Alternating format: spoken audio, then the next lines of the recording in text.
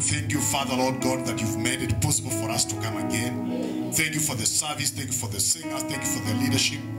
We appreciate you, Father, for the presence of God in our midst. We sanctify your great holy name, O Father, for this great time, O God. You are leading in the fight. You never just fought for us at Calvary and left us. There is another part of us that you are also involved in. That is the area we want to identify you and honor you for the same. We appreciate you this morning for your mighty grace that you've given us, Lord. We want, Father, to have the confidence in the work you did at Calvary and have confidence in what you are doing today. Father, we are standing with the needs of your people. We are bringing our needs because we believe you answer prayers. You wouldn't have given us prayers as the means to access what you've already given us in the Spirit if you do not answer prayers. Our sister Joseph that has requested for prayers, Heavenly Father, give her the prayer request she has. Promotion and enlargement for our children. And any other person, Father, even online, Father. People are making decisions. We want to remember them in this prayer, Father. Those all of us who are here again, oh God, we want, Father, to thank you. We know you're going to grant our needs. Amen. That is what inspires our faith. To know we deal with a God that answers prayer, that comes to encourage, to comfort, and console us. We lift your name in glory for your own name's sake, Lord. We appreciate you this morning as we read the scriptures. Father, may you help us to put emphasis in the right places. That, Father, we may not get everything you are telling us, but you'll get something that will open the rest. Give us that grace we need in the mighty name of Jesus Christ. Amen. Amen. Praise the Lord. Let's go to our scripture reading today. And it seems like uh, I don't know whether we are able to finish our series on those words because as we keep on moving, a word comes up, a word comes up. And uh, we want to deal with one of the words that was not among the words uh, I mentioned. But uh, I, I came to, to learn of something that was very encouraging for me. They're saying there is no book in the Bible. The people have been, the statistics. They're saying there is no book in the Bible that has led many people to Christ than the book of Romans. Not only by preaching, even just people reading it, even Martin Luther, it was the book of Romans. And he got only a small word called justification. And that's why I talk about Protestants today. And then uh, uh, Wesley came with another word, sanctification. Then we had another man by the name John Calvin. Okay, some of them went on the limb. He came with the word predestination. When we are talking about recovery of precious words in the Bible, when those words are recovered, our identity in Christ is recovered. Then they say the next book is the book of Revelation. You know, the book of Revelation is like an outline of a horror movie. You know, a, a, a, a, dragon with his ten head, another one has got seven heads, another one has got ten, another one, you know. But it says has also played a part in leading people to Christ. Yeah, the best of the things is to come to Christ. He will give you the rest that you need to understand. Thank you, Grace. You are we are happy to see you. They they took Grace. Amen. Thank you. Let's go to our scripture reading this morning. Today we are dealing with the degrees of glory at the Bema seat of Christ. Bema or Bima. That word is the judgment seat of Christ. Degrees of glory. Glory is not just like a garment like you put on like righteousness. Degrees, glories, or glory has degrees. You know, righteousness, you will be you will not be more righteous today than you will be tomorrow. Amen. You will not be righteous today than you were yesterday.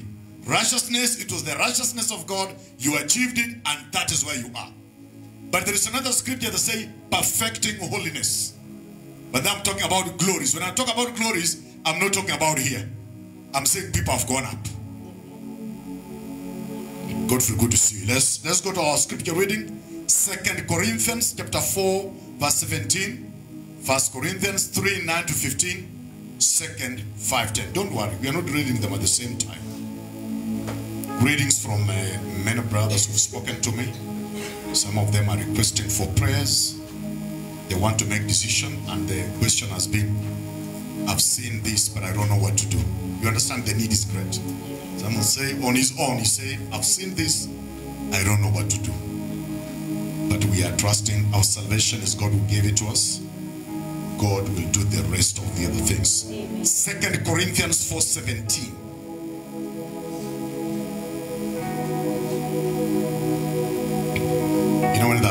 Sometimes you can go to First Corinthians and uh, you're wondering what I'm reading is not what you're seeing. It says,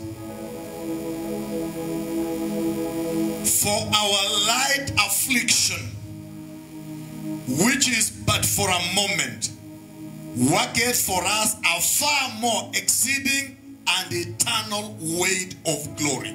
You see the word there, exceeding and eternal weight of glory. That word weight is like these things are put on on the scales. Your affliction are put on the scale this side.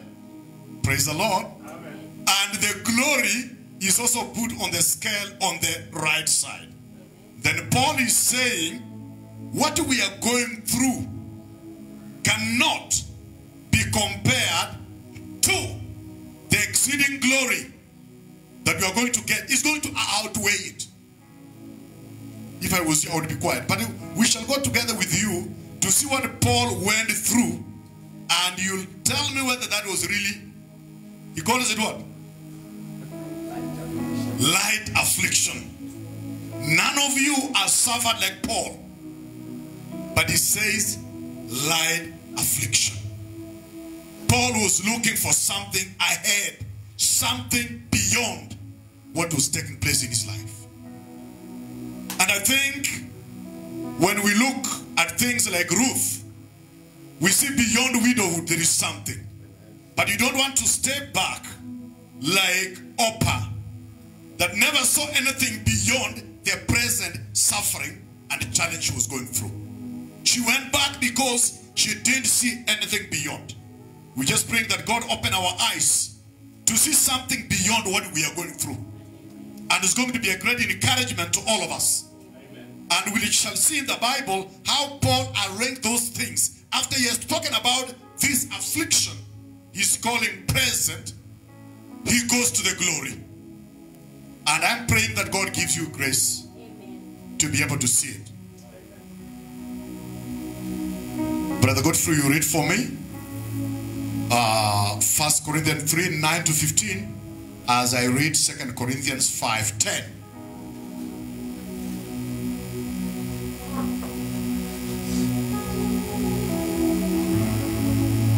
This as you look for it. It says, For we must all appear before the judgment seat of Christ, that everyone may receive the things done in his body according to that he hath done, whether it be good or bad. He is not talking about, and I think for, for, for, for many years, many people have used this to say we are going to stand before the judgment seat of Christ. This judgment seat of Christ is not the, the throne of a sinner. That's why Paul is included. He's saying, we shall all stand at the judgment seat of Christ. The judgment seat of Christ is what we call Bema or Bima. We shall all stand at the judgment seat of Christ to receive what we did in our bodies. This is not talking about salvation. Because salvation is what Christ did for his body, in his body. But this is something you did in your body, whether it be good or bad. Amen? Paul is using words that no one knew such a words existed. That there was another judgment seat of Christ unless we get it from the prophetic program what God promised Israel, which we shall do. Says, Now therefore, knowing therefore the terror of the Lord, we persuade men, but we are made manifest unto God, and I trust also are made manifest in our consciences. Now, you're going to go to your scripture reading. 1 Corinthians 3 9. For we are laborers together with God, ye are God's husbandry. Sometimes you read the scriptures, we don't focus on it. It's saying we are laborers with God. Amen. Continue, just continue. For we are laborers together with God. Ye are God's husbandry, ye are God's building. What does he say? You are the farm of God, Amen. you are the building of God. Amen. And he's saying that is where our area, that is where our occupation is. According to the grace of God, which is given unto me, as a wise master builder, I've laid the foundation, and another buildeth thereon. But let every man take heed how he buildeth thereupon. For other foundation can no man lay than that is laid, which is Jesus Christ. Now, if any man build upon this foundation gold, silver, precious stone, wood, hay, stubble, every man's work shall be made manifest. For the day shall declare it, because it shall be revealed by fire, and the fire shall try every man's work. It is the fire to try every man's Work for what sort it is. Yes. If any man's work abide which he has built thereupon, So the purpose of the fire is to try the work to see which one is going to abide. Amen. If any man's work abide which he has built thereupon, he shall receive a reward. If any man's work shall, So Be the bad. thing that will stand the fire of God has already been mentioned. Amen. It is gold, silver, or precious stone. So the person whose work is categorized in these basically three, but even more, because we are all precious stones, Amen. then this person will receive reward. Amen? Amen. Okay. If any man's work shall be burned, he shall suffer loss. So there is the burning of your works. That's why we have read it says, we shall receive what it did in our bodies, be it good or bad. So God, good is the precious stones, gold and silver. Amen. Bad is wood, hay, and stubble. That is what will burn. Amen. Amen? Amen. If any man's work shall be burned, he shall suffer loss, but he himself shall be saved, yet so as by fire. So the person shall be saved, isn't it? Yes. But he is not going to have anything to him. Amen. But is he in heaven? Yes. So how can we say we are the same? I'm not talking about you and me. I'm saying according to the scripture, we are not the same then when it comes to the judgment seat of Christ. Because there is a man whose work is going to burn in fire, and another one is going to abide the fire because of the material it was built on. Okay. You may be seated.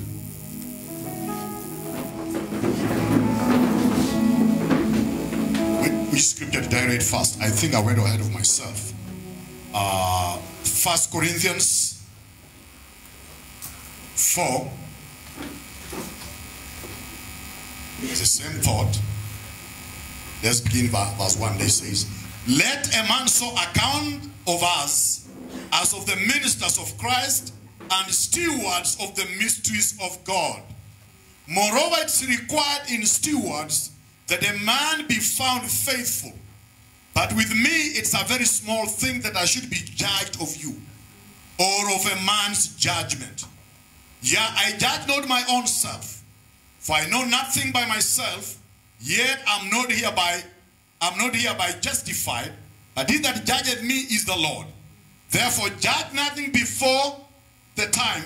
You, understand the kind of judgment he's talking about? Because there is a judgment where we shall all stand at the judgment seat of Christ. And until the Lord come, who both will bring to light the hidden things of darkness, and will make manifest the counsels of their hearts. And then shall every man have a praise of God. Amen. Can someone read for me NIV what I sister? Okay, I have it here. Don't worry. Five, it says, Therefore judge nothing before the appointed time. Wait until the Lord comes. He will bring to light what is hidden in darkness and will expose the motives of the heart. Are you seeing that one secret? There is the motives of the heart. And at that time, each will receive their praise from God. These are the people that God is going to my brothers, you do not know what happens when God says, Well done, my servant. he does not say, Well done, my son. Because he knows you have relationships with him. He knows you are related to him as a son, you are related to him as a servant, and at one given time you are related to him in a way as an enemy, but that time you were a sinner.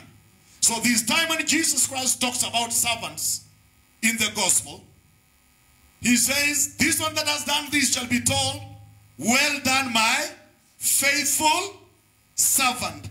Enter into the joys of your Lord. He's not saying, Well done, my son. He's saying, Well done, my servant. That means it is talking about service in a Christian life. And when we are talking about service, that is the reason we are talking about standing at the Bema seat of Christ. Let me go through this very fast with you before we go to some other things. First, I want you to identify that several thrones where people shall stand and they are all different in the scriptures.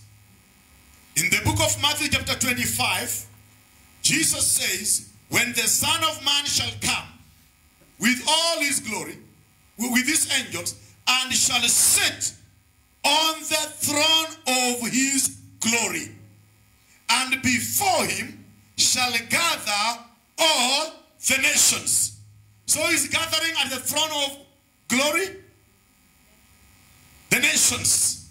Are you seeing how the Bible is meticulously put together? The people who shall gather at the throne of glory are the nations. And the basis of judgment is outlined. The way they dealt with the brethren of Jesus Christ. Amen. Amen? You are not going to be found there unless you are Nation Ben Ami. And Nation Ben Ami at one given time was given a chance to deal with Israel and mistreated Israel. But you can't do it because you are not a nation. It means there is a throne where a nation shall stand to be rewarded or to be condemned. It is called the throne of glory. Amen? Then there is another throne we find in the book of Revelation. It is called the white judgment throne. The white judgment throne has nothing to do with you, has nothing to do with the nation, but has everything to do with the wicked people that rejected Christ. Amen? Amen. These people will come from the nations, will come from everywhere. But that's not the time God is dealing with them. The basis of that is for rejecting Jesus Christ. The nations, it is for the way they dealt with Israel. Amen. And then there is another judgment seat.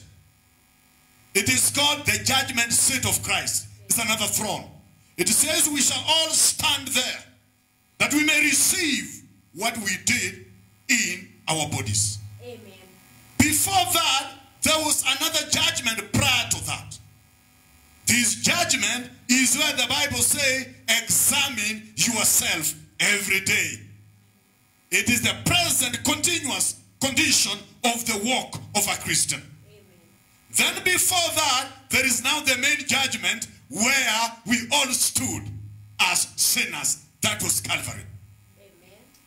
So Calvary, then the present judgment throne, which was which you stand there every day, examining what you are doing and finding out what you need to do as a Christian. Then that throne is what will open the door for you to stand at the judgment seat of Christ and the glory that shall be unfolded at that place. So that the judgments that you as a Christian will not stand in. You won't stand at the judgment, the white judgment throne. You can't say amen. You are like, what? You won't stand there, or I'm too serious. Let me smile. You won't stand at the white judgment throne. Because that's not for you. Amen. Another throne you won't stand. You won't stand at, because you already stood at the throne when sin was being judged. And you are judged in Christ. Amen. So that one you avoided by Calvary. Amen. But you are standing at a some judgment throne today. Examine yourself. Judge yourself. Modify. Amen.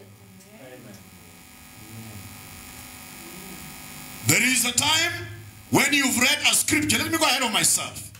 You are reading a scripture and you realize the scripture is specifically talking about something in your life that is not spelling a good thing. You know, you want to rush over that scripture. That's not the way to do it. The way to do it is read and get more references that talk about this condition in your life. Amen. When you maintain that in your meditation life, the Holy Spirit uses that to help you modify. When you avoid it, you are destroying the power that would have helped you. If it's talking about fornication, if it's talking about the lust, if it's talking about drinking, it is talking about anger. Go combine all the scriptures that talk about anger. Let the scriptures humble you. Amen. Humble before the scriptures. Amen. That is now the way you are giving God. Because someone go ask me a question, Pastor, how do we modify? Because there are things the Bible say, modify the members that are on the earth. Modify means kill it. How do I kill it? Because you can go into the woods and fast, empty without scripture, but if you are anger, you're only coming back with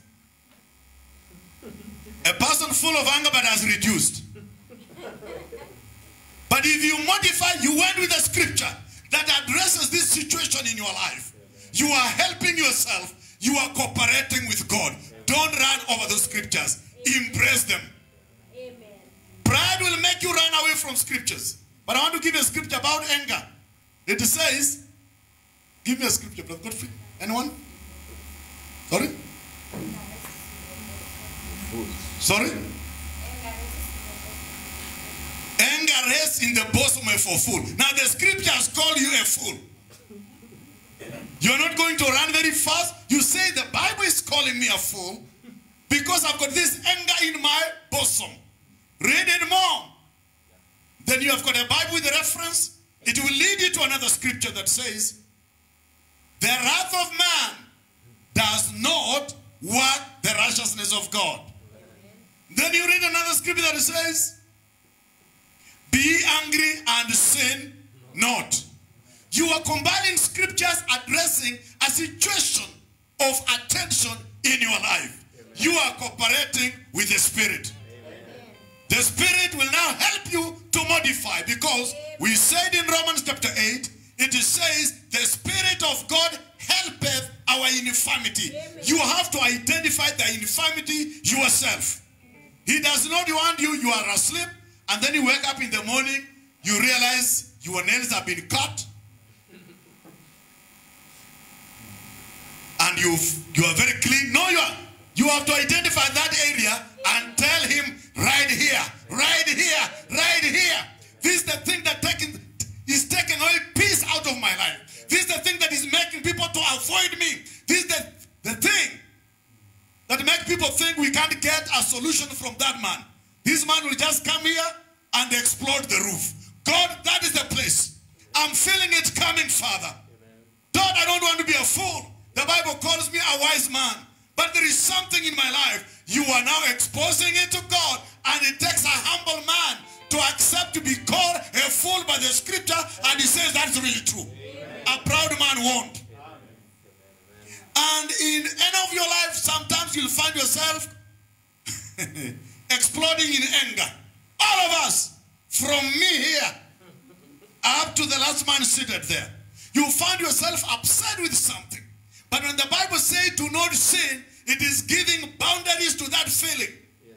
Amen. When it also tells you do not allow it to stay for a long time. Look for way, pray for grace that you can handle that thing. You are now helping the Spirit, cooperating so that the Spirit of God can modify because you are not going back to Calvary. Calvary is already done. But now you realize, oh, let me not go there. Amen. Praise the Lord. This is a way to cooperate with the scriptures. Don't be the kind of person people fear. Even if they want to tell you something, they think, no, you will explode. Don't. Get some time. Humble yourself before the scriptures. Tell God that thing I'm feeling is not good. Amen. Amen, amen, Amen. I'm a Christian. I believe you died for me. I know you achieved it for me. But the, the way I looked at that person was not good. You remember what Brother Manana told us one time? Brother Manana told us how, uh, I don't know if he told us or he told me, you know, he tells me things. And he told us in the church, he was actually giving a flower for his mother. It was the same day the mother had actually passed on and he went. We told him to talk about his mother and stuff. And then uh, Brother Moran was telling us he had been a little bit mistreated by his father at one given time. So when he was now working, the father came. That was your father. Father came and was sitting somewhere, and Morano came in, and the mother was looking at Morano. And then he called Morano outside. He said, Come over here. The way I saw you looking at that man, it's not right. This man, because of the few things he did to you, you see him sitting right there at the door. He just say, when you say, ha, he takes off. Don't do that. Go get a shoe, go get this, and give it to him. Murano was like, no, Mama, you said, no, no, no. Take it, give it to him. Thank God for such a mothers. The mother was helping the son to overcome the spirit of grudge. Amen. A wrath that is inside of you that someone did for you. You are wondering, how can I ever grieve such a person? That is fine to feel that way. But do not sin. Tell God, I want to be clean in my heart. Nenyambemu. What's the word in, Is- in Kiluhya? Msereze. No, mulahule. It means someone who has been liberated. I want you to liberate from. I want to feel different. And a person who doesn't have a grudge or a wrath, how he feels. Father, I want to be liberated. Father, I'm humbling myself before you. Take this thing away. You took my sin away. Take it away. God is requiring you to walk with Him. He wants to modify because you are fellow laborers with Him. You are in the same field and God is involved in this field. Amen. Oh God. Praise the Lord. Amen. You will be challenged. It will happen from the closest people. People in your family. God says, I want you to modify. Some of you maybe were denied education in school. And then that old man or that old mama, they had the chance to take you to school. Someone had a chance to help you, they did help you. And God somewhere helped you. You are now earning some little money. And then you are saying, I'll just eat this bread in their presence. Don't. Take that bread and share with them. Amen. It says you have met the Lord Jesus Christ. There are people you feel who you. Tu. Don't do that. Modify. There, there are people who have come in your life. You realize these people should have done better than what they have done for me. And then God ignores all that. He blesses you. You become a good person. God wants to tell this person, I've changed him. Amen. I've done this person. Have you ever gone down to pray, feeling so bad because someone did something wrong? And when you are praying, you are not even praying, you are complaining and crying? Praise the Lord. Amen. And then the following day, you meet this person on the road. And then you realize now you are being tested in your works. And then you want to pass. If you manage to pass without greeting that person who brought, you wanted to greet you and you pass, you will be condemned that evening, you won't sleep. Those are the children of God. I'm not talking about people who don't fail. I had that experience one time too. Someone did something to me and I said, I will never greet him. I will not. Because he didn't do it privately. He did it before all. So I said, I won't do it. That was on a Sunday. The following Monday, it's few years back, maybe 20 years. Next time I met him in town, and the first thing I went and hugged him. He went and told another brother, you know, you know what I did to him was not good. And this brother told him, it means there's nothing wrong in his heart about you. But when I went back home to pray, I prayed, I told God, you are weak. How could you allow me hug this man who did this to me? But God will take you to places to tell you, I have changed you. Things will happen in your life, then you'll say, That is not me. You start crying. You say, God, thank you for changing me. He does. From glory to glory. He's changing me.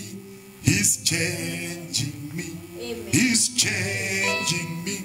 No, don't. I've got very good people they want to start the ring, singing. Praise the Lord. Now, I I wanted to say something now before we really begin is, yeah, I'm actually beginning on my last notes. I want you to understand your relationship to God. Number one, as a sinner, as a son, and as a servant. All these three places I've mentioned have thrones. Amen. There are places where you meet God. The throne of sin, where sin was judged, that is Calvary. How many of you have been there? How many of you have been there? Where your sin was judged in the body of Jesus Christ. Amen.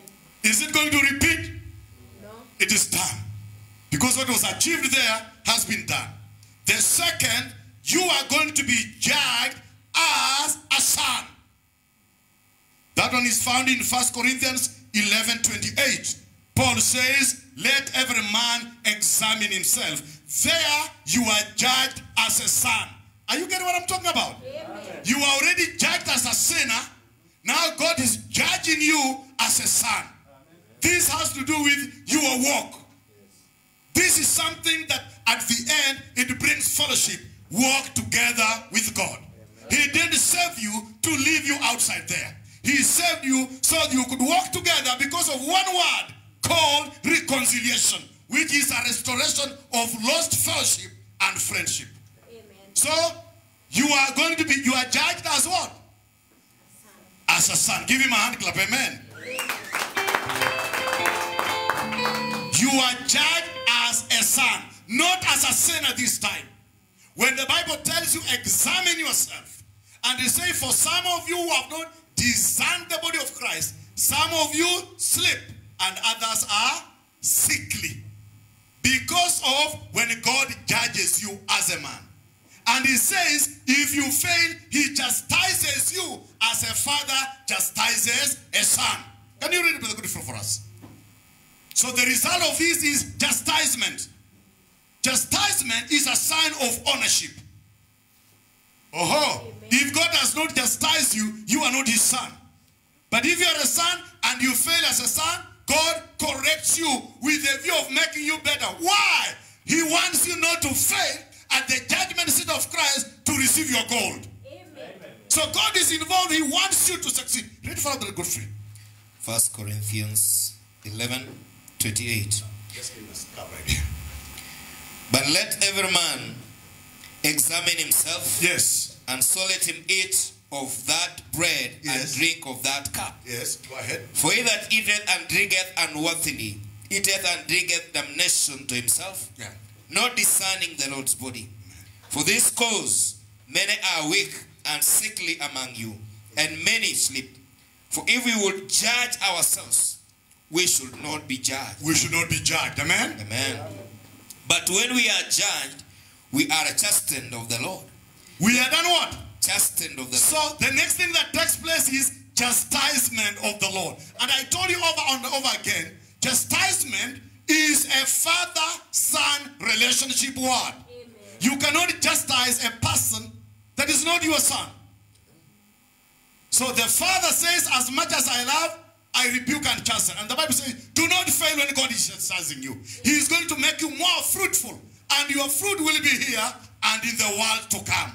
So the reason why God is chastising you, it is because he's preparing something for you in the future. He doesn't want you to fail. Amen. Oh, praise the Lord. Amen. Oh, God. Amen. Do not fail when God is correcting you. Amen. God is chastising you because there is something that God wants to make you shine somewhere when you stand there. When he says, Well done, my son. You did so well. My brother, leave that part alone. Then, the scripture where we've actually found our text today is being judged as a servant. judged as a sinner, judged as a son, and judged as a servant. When you are judged as a sinner, I'll repeat that. It is not your sins that took Jesus Christ to the cross. It is your sin singular. Did you understand? Amen. It is, behold the Lamb of God that takes away the sin of the world. Amen. So Jesus Christ died there for the sin singular. Amen. But chastisement is taking place because of sins. Sins committed by who? By a Christian. Amen. Maybe you fail to modify. This is good. Get it? Amen. You fail to modify. Thank you. When you fail to modify, you'll be chastened of the Lord. What am talking kusema Amen. You are supposed to modify, point it to the Lord. Let God cooperate. I mean, let you need to cooperate with the Spirit of God. And after you've done the cooperation, God started fixing it because you are co-workers together with Him.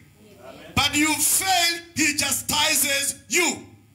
Chastisement, when I talk about chastisement, you think that means you get sick. Not always.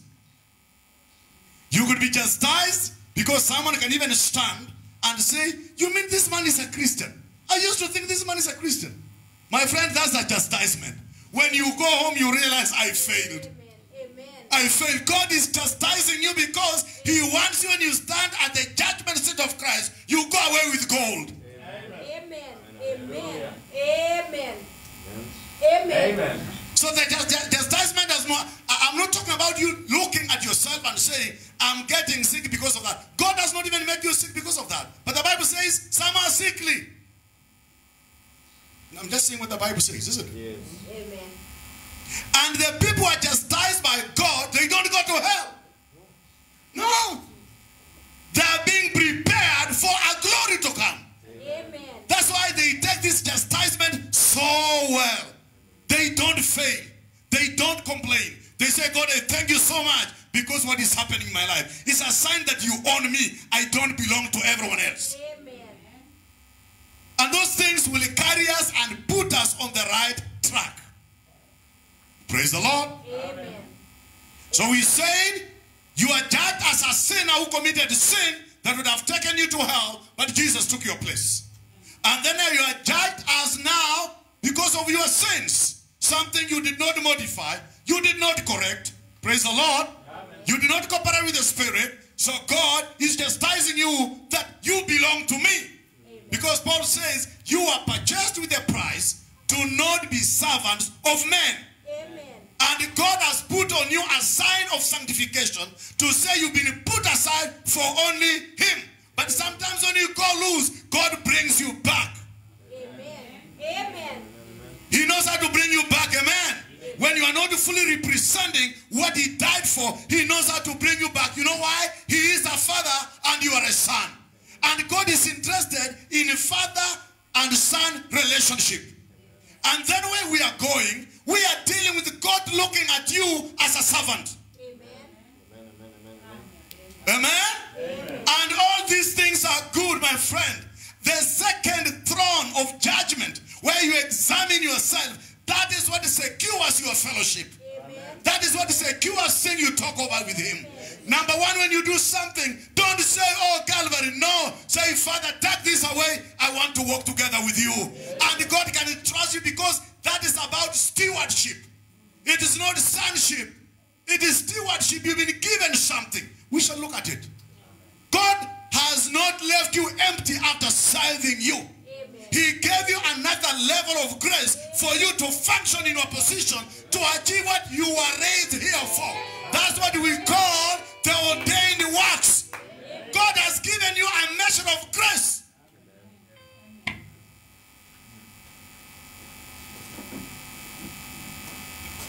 No matter how much I try to say, no, no, no, no. Praise the Lord. Amen. Now, the question I want to ask before we go a little bit further is this question. Are there degrees of punishment as well? You know, I was just studying yesterday to find out where did this doctrine of total annihilation that we one time believed came from. I realized that Jehovah's Witnesses are teaching that uh, sin and people just be completely annihilated. They avoid the area where you realize when you rejected Christ, there is something you did. When you believed Christ, there is something you did. Amen. Okay, let's break it. When you believed in Christ, what did you believe? You believe what Jesus did. Amen. And then you also say, I'm going to do something for the reward. Amen. And then there is a person that rejected Jesus, the free gift that God gave to man. And there is, there is also what he did on top of that. Amen. Amen. How can they be the same? How can you say they'll be totally annihilated? There are also degrees of punishment. Amen. It's not like that. Uh, if you say there is uh, these people who didn't receive Christ, whether you did, you know that people will go to hell but they didn't drink. You know that. Yes. Because God did not plan to save man by works. God planned to save man by grace. And if you didn't receive grace, my friend, it doesn't matter how clean you are. Because the Bible says our righteousness is filthy. So you are not coming in the program that man is saved by. So there is a person who is very kind to his children, kind to the husband and wife, kind to the parents, a good citizen. He doesn't drink. When he leaves work, he comes home. You know that person will just go to hell. You see what's wrong with you guys? You think all that work, there is no work there. It is filthy rags. Yes. Because the work that God identified is the work he did on Jesus Christ and you receive it. Amen. Otherwise, you know you didn't get that because you are not believing. You've just forgotten. The Bible says, all are, all are, for all have done what? Do you mean to tell me even the person who was born and an angel came to the window Yes. Yes. And the pillar of fire came? Yeah. Yes. Yes. He's a sinner? Yes. Is he a sinner? Yes. Amen. And the person whose parents were drunkard and he also drank and did everything, you mean they're all sinners the same way? Yes. Then you mean a person who never drank, never did anything wrong. Praise the Lord. Good to his parents, to his family, was a good citizen, never did anything wrong. And the person who drank chased the family at home from his home. They went away. He took somebody's money and they all got saved. They're the same. Surprisingly, yes. Yes. Yes. Yes. Grace. How is that? How are they the same? They are the same because they all are sinners before they did anything. So God is justifying a sinner by believing the Lord Jesus Christ. He's not justifying a sinner by doing anything. Okay, somebody saying, no. Then if that's the case, I got saved early.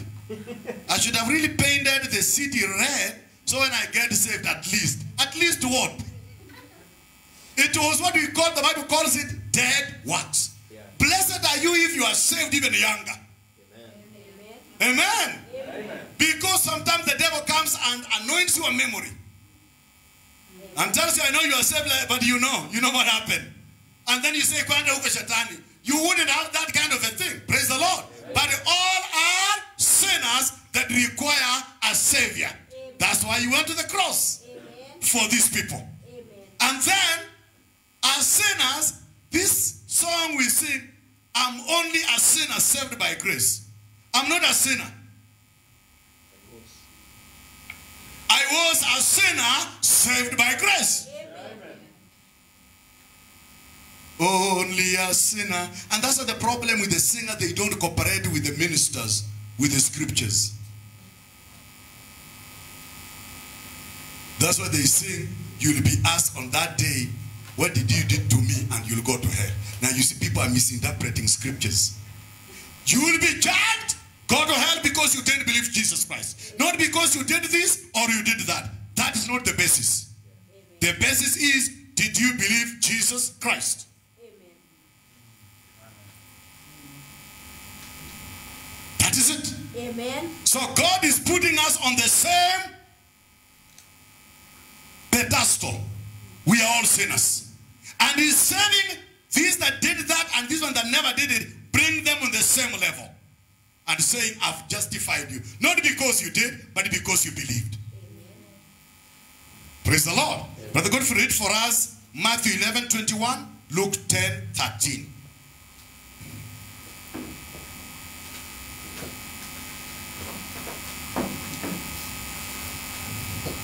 We should just repeat ourselves. We are not going on a straight line. No, we're not. I know.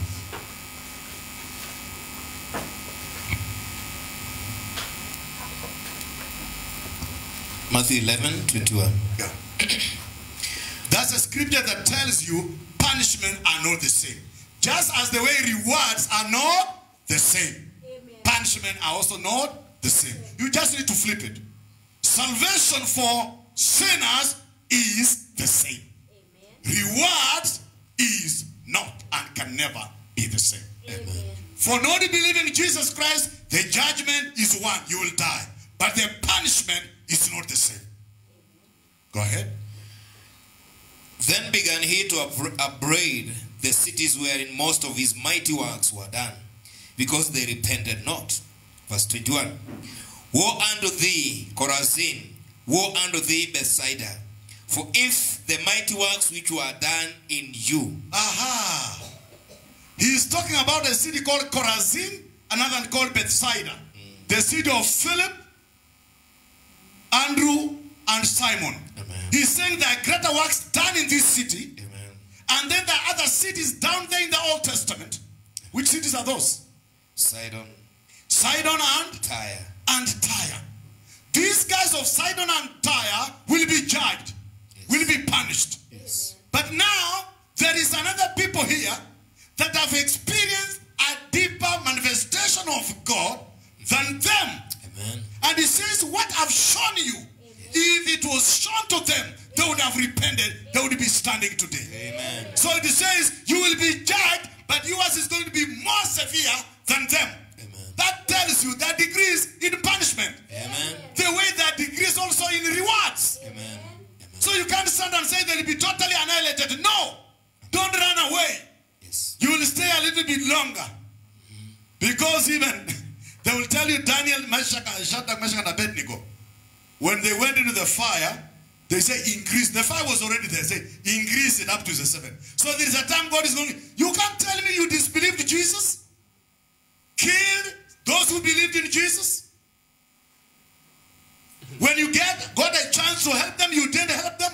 On top of not believing Jesus, you also did something to Jesus to hurt his people. You want to tell me your punishment will be the same with the person who just never believed Jesus? It can't be the same. God is a just God. Amen. Amen. That's why he uses the word, it will be more tolerable in Sodom than it is in Capernaum.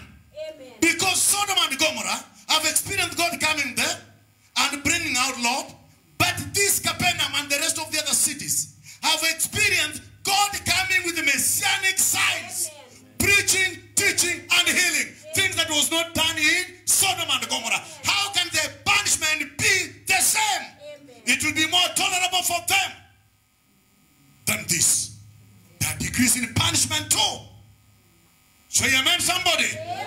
The way that decrease in glories and rewards, that's the way it is. Amen. Amen, amen, amen, amen. Okay. So there is this person who came here, he was given a chance to do the right thing, even if he's not a Christian. To do the right thing to a Christian. He first of all rejected Jesus and he said, I don't care about him. And went ahead and did something extra to add on that. Can the punishment be the same? With a person who just disbelieved?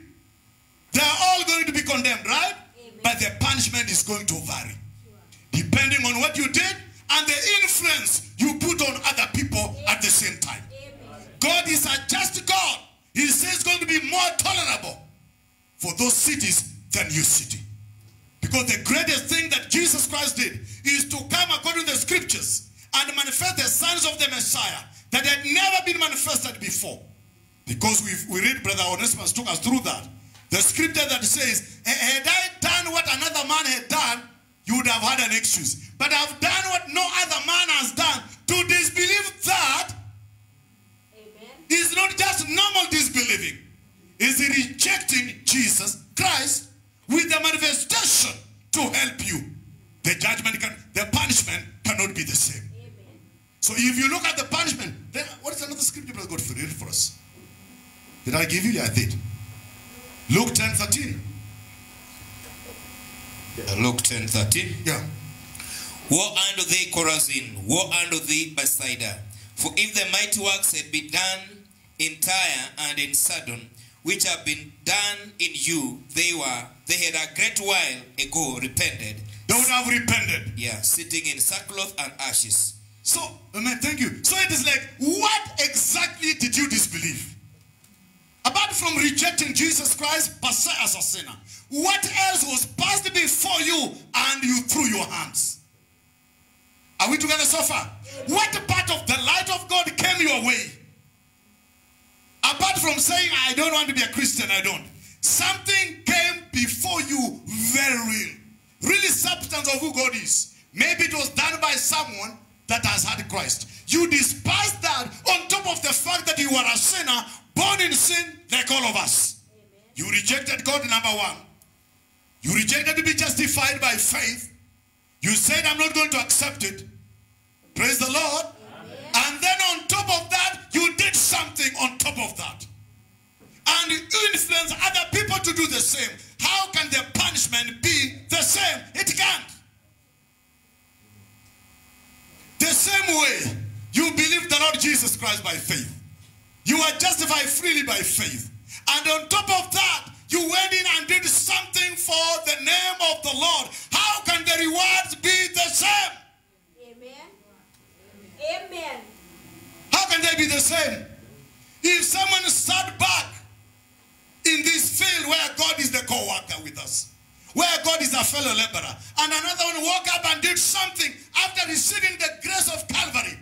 God said, I'm going to enable you to do things. And he did something. At the judgment seat of Christ, how can you be the same? Amen. Is that true? Brother Godfrey, I just want to say thank you even for coming to church.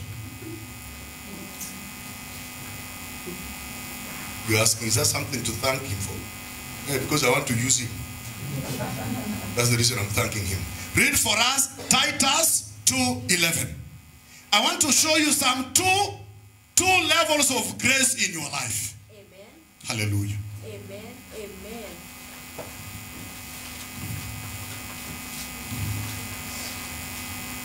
Hosana inakimbia. Praise the Lord. My God, for read for us. Titus 2.11 Yes. For the grace of God that bringeth salvation has appeared to all men, teaching us the That the grace that bringeth what? salvation Has appeared who? to all men. All men. So we have no excuse, whoever you are. Yes. That grace has appeared to all men at the same time. Yes. Teaching us that denying ungodliness and worldly lust, we should live soberly, righteously, and godly in this present world.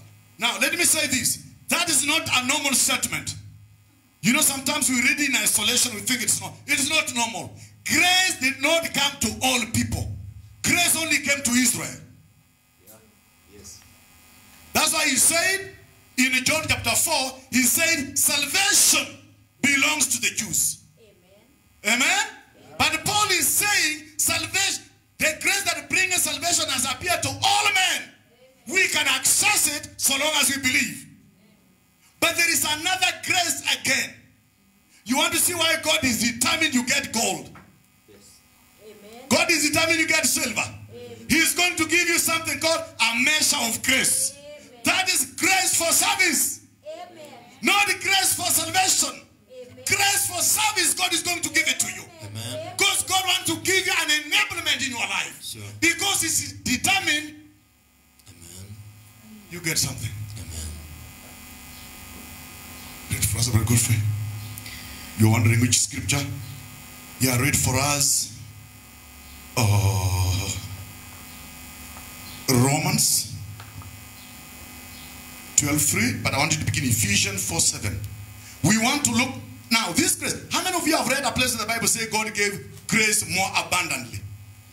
The grace to save man is abundant. Oh God. You, you know that song we sing? Grace that is greater than all our sin. My friend, that grace is abundant. Amen. That grace is greater than your sin. Oh, There is no sin who can stand before God. God created something to destroy sin. It is called grace. And if you believe, my brother, it doesn't matter what you've done. A sinner can be forgiven today, tomorrow, and another time, so long as he can believe what Christ did. Grace is abundant to all of us. Amen. Amen. That's why even the grace follow people on their what they call what on their bed when they're dying. The last five minutes, Amen. he was right there cursing and saying, "Forget all about it." And then there is that moment. You know what God does with this person? God does not show him hell. amen. Oh, thank you. God shows him grace. Amen. Don't think people are like before you die, God paints hell. And he shows your brother who died burning and the devil's burning. Hey, who goes here, this here, this- ah. God at that moment, he wants to pull a belief out of your life. Hallelujah. He come and shows you my love on the cross. That time maybe you are not even able to talk. Maybe you've closed your eyes. Maybe it's only a part of you that is rocking in the chest. And maybe the body is still warm. They're saying, no, he's not dead. At that time, my friend, you are having a conference with God. You are having a talk it over with God. When people say he died a sinner, they don't realize at that time God sneaked his grace and he showed you, I loved you. And you responded in that condition. The grace of God is forced upon every sinner today. You reject it at your own peril. Amen. You know that man who died on the cross with Jesus Christ? That man was not a thief the way Simon Peter calls him somewhere. That man called Barabbas. There is a man called Barabbas and there was another. These two guys were friends. These thieves on the cross, one of them who told Jesus, when you go into the, uh, the kingdom, remember me. That man was a, that man was a friend of Barabbas. They were not thieves. These were rebels that wanted to overturn the government, get away all the Romans so that they can come back.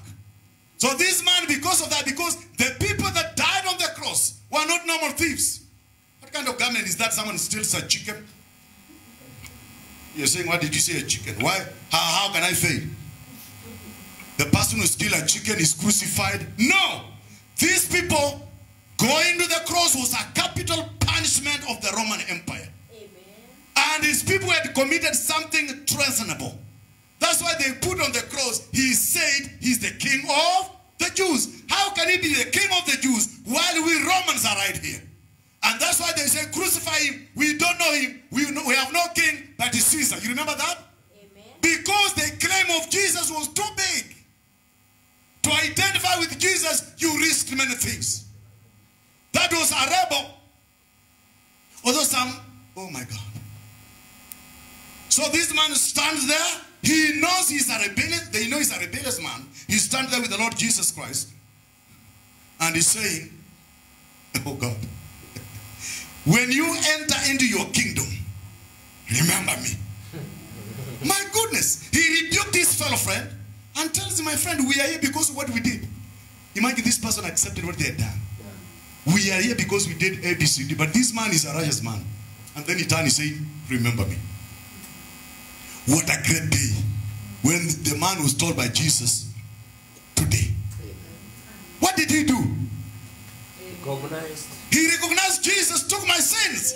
Because he said, we are here for what we did. He is here for nothing that he did. Say, you remember me because I know you are going somewhere. Amen. Can you imagine this man was a believer of the kingdom? Amen. Jesus told him today. I love it. That is grace, man. That is grace following you wherever you are. Grace will follow you. Grace is a warrior that God going to raid the camps of sinners and get the sinners out. Grace of God has no limitation. It is abundant grace. That's why Luther said, when I look at myself, I wonder how I could get saved.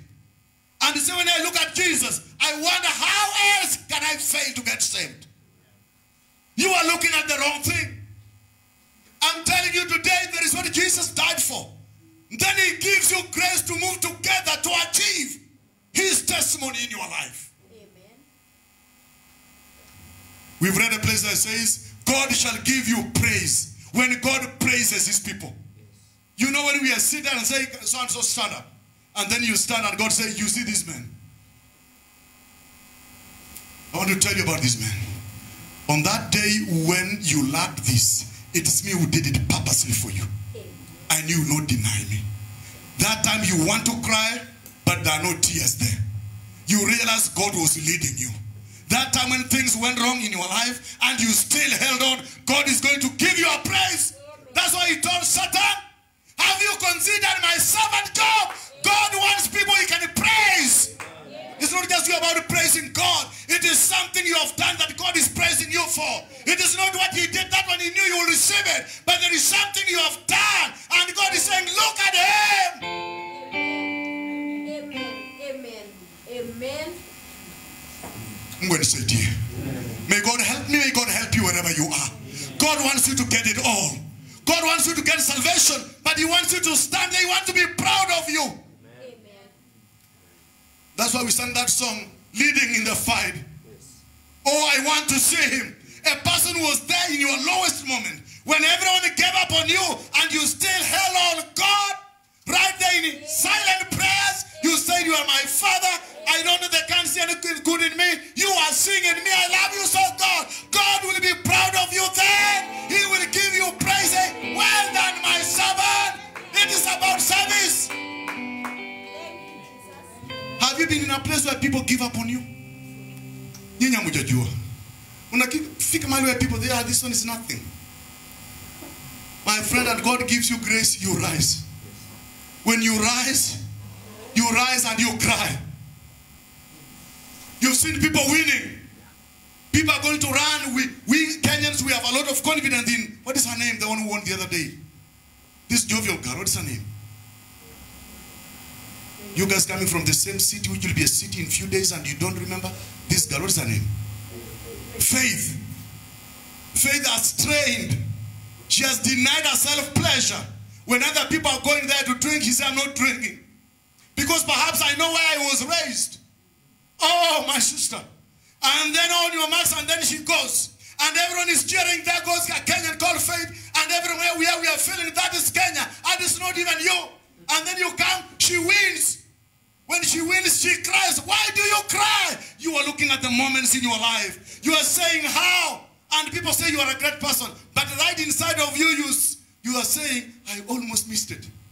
If I was to go another lap, I would have lost it. Thank God that was love. It's not easy. It's not something we are going to walk in. It is something the grace of God has to hold you through. Amen. Amen. I'm not talking to strong people. I'm talking to people who you do. If, if nothing doesn't move, it's like you are losing it. But you don't know what held you together. It is because there remains a reward for you. Keep on holding on. Give him a hand clap. Amen.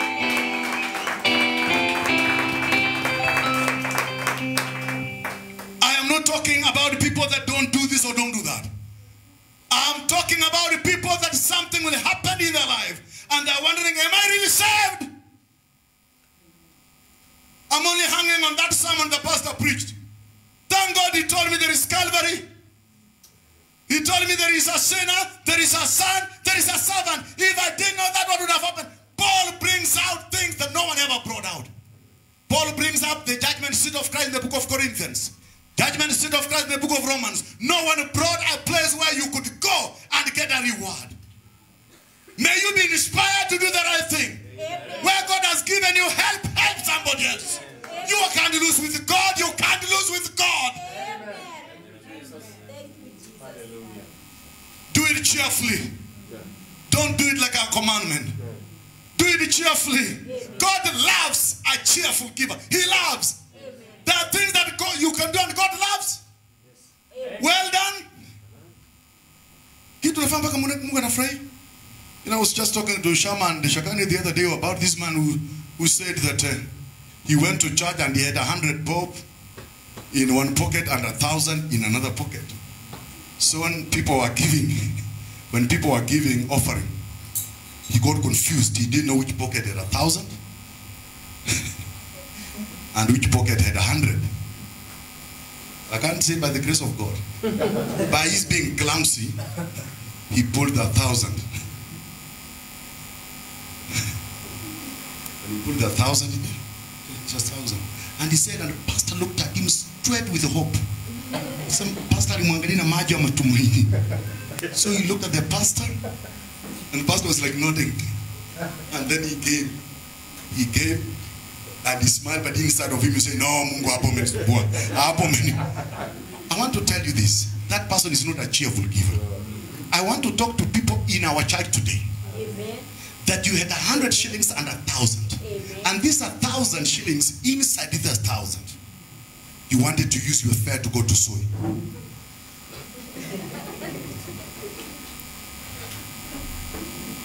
These people love you. you wanted to use a hundred, a thousand shillings to fill maybe your gas. And then by normal human clumsiness, you put a thousand shillings in the offering bar. And then when you checked, you realize you have a hundred. I'm not going to tell you God is going to perform miracles. I'm telling, come to me and say, hey, pastor, I wanted to give a hundred shillings, but by mistake I gave a thousand. Do you know what I will do? I will give that a thousand to you and take a hundred. We want cheerful givers.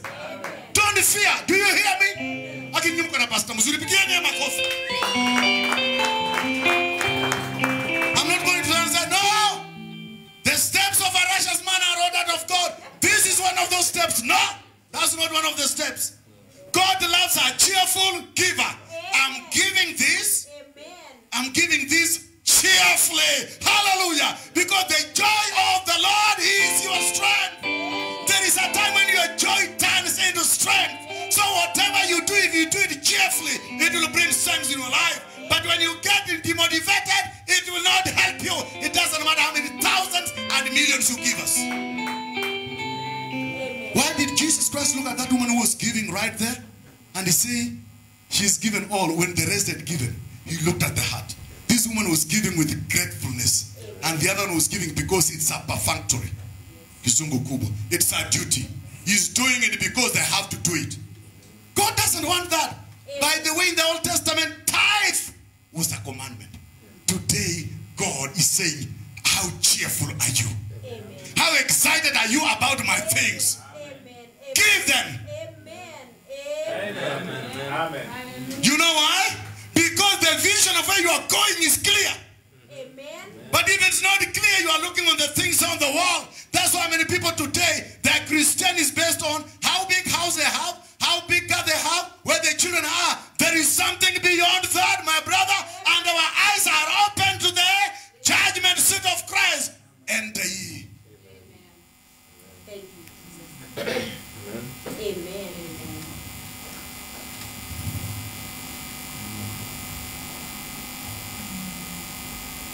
And I want to, you to pray with me.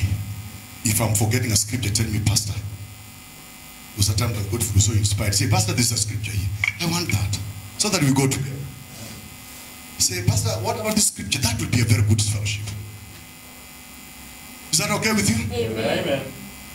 So good for you. You are saying you said read Ephesians and read Romans. Yeah, read that. We've already read Titus 2.11. What did we find about that grace?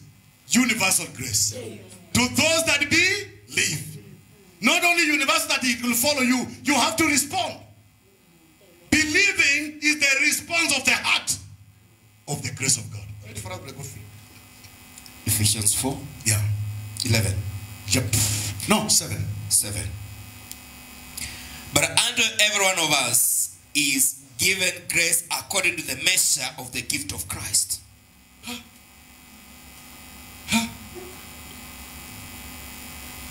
Did you get that? Whom is Paul writing to? Go to Ephesians chapter 1, verse 1. So he's not writing to sinners. Yeah. But when he spoke about Titus 2.11, it was everyone that needed to be saved. But this one, Ephesians 1.1, he says, Paul, an apostle of Jesus Christ, Amen. by the will of God, Amen. to the saints which are at Ephesus, and to the faithful in Christ Jesus. Aha. So is the faithful in Christ Jesus. Romans, the book of Romans, it is the foundation piecework. Amen. The book of Ephesians is our goal. The book of the Thessalonians is the end. We get raptured. Huh? Amen. Roman is the foundation piecework of our Christianity. Ephesians is our goal Yes. In the body of Christ. Amen? Thessalonians is our end. Amen. We get raptured in the book of Thessalonians. Yes. We get saved in the book of, we get testified in the book of Romans. Amen. We are baptized in the body. The book of Corinthians talked about it, the book of Ephesians talked about it. Then we are raptured. Then some archangel comes for us. Yes. We shall have to come there. Praise the Lord. Now, Brother Godfrey, it is talking about the measure of grace.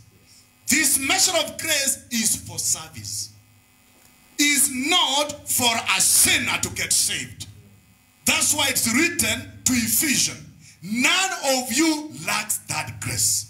God gave you the grace for you to get saved. He gave you another measure for service. Amen. Did you get what I said? Amen. Amen. Amen. Now, in the book of Romans chapter 12 verse 3, it talks about the measure of faith. This measure of faith is not the same faith we had when we had the gospel. It's another measure to operate the measure of grace. Amen. Read further, good friend. what did you find in the book of Ephesians? Measure of what?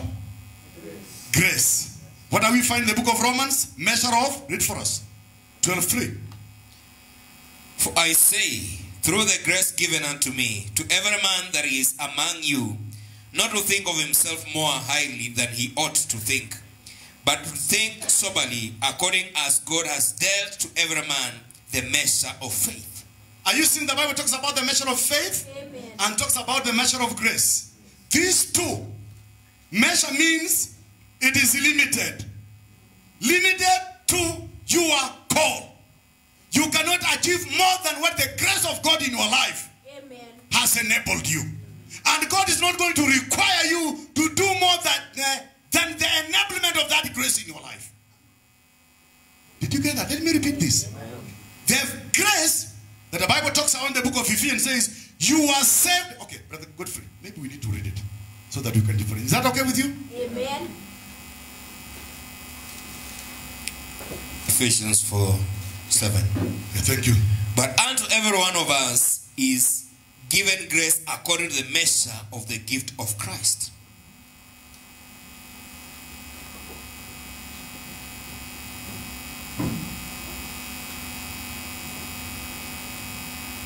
Two eight. As 8. Ephesians 2 8. Ephesians 2 8. Okay. For by grace are ye saved through faith, and that not of yourself, it is the gift of God. Does that grace have measure? No, it doesn't. That is the grace that has appeared to all men.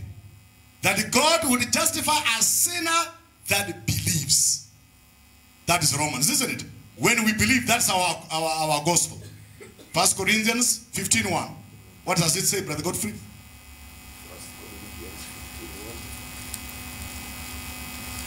Are you saying you are saved by grace? Amen. But God wants you to operate in your service. He gives you grace too. Amen. Aki. God is really determined. Amen. Amen. Brother Ben, how's your wife? She's fine now, God. She's fine. Yes. We are here waiting. Amen. Then Ben gets here at 8. Amen. Amen. I can hear you saying if it was me, nakaa tu hapo. Yeah. Ben gets here. I'm, I'm, I'm, I'm trying to awaken you to special grace in your life, but sometimes you don't know. God has to tell you how to use that grace. Haraka niseme hii kitu 1 Corinthians 15 Moreover, brethren, I declare unto you the gospel which I preached unto you, which also ye have received, and wherein ye stand. Amen. By which ye also are saved. you are also saved. what does it say in Ephesians you are saved by grace but the gospel had to be preached it was called the gospel of grace Amen. the gospel was preached it was the gospel of grace where you stand and where you are saved if you believe that Jesus died was buried and resurrected thou shalt be saved what is that grace Amen. Then he looks at you and says, This is not all I planned for you. I want to give you a measure of grace. Amen. I want you to serve.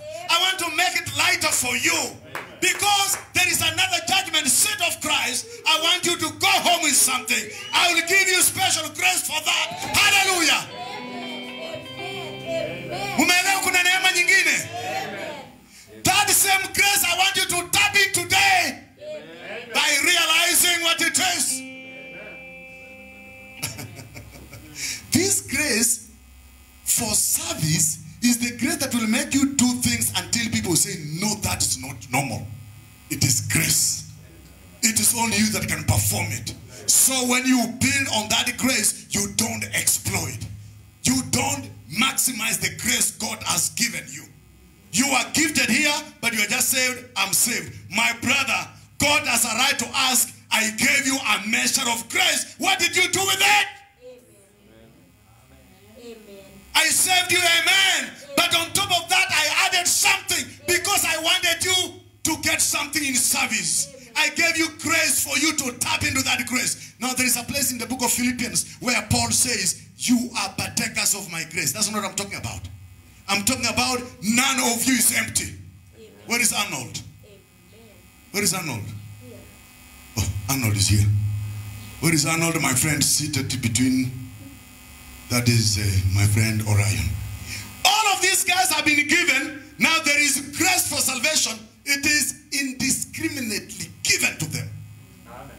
But now the grace for service, they have got different measure. This one will do that, that one cannot do that. I want to tell you, realize this part of God with the measure of grace and serve Him. Amen. Amen. Amen.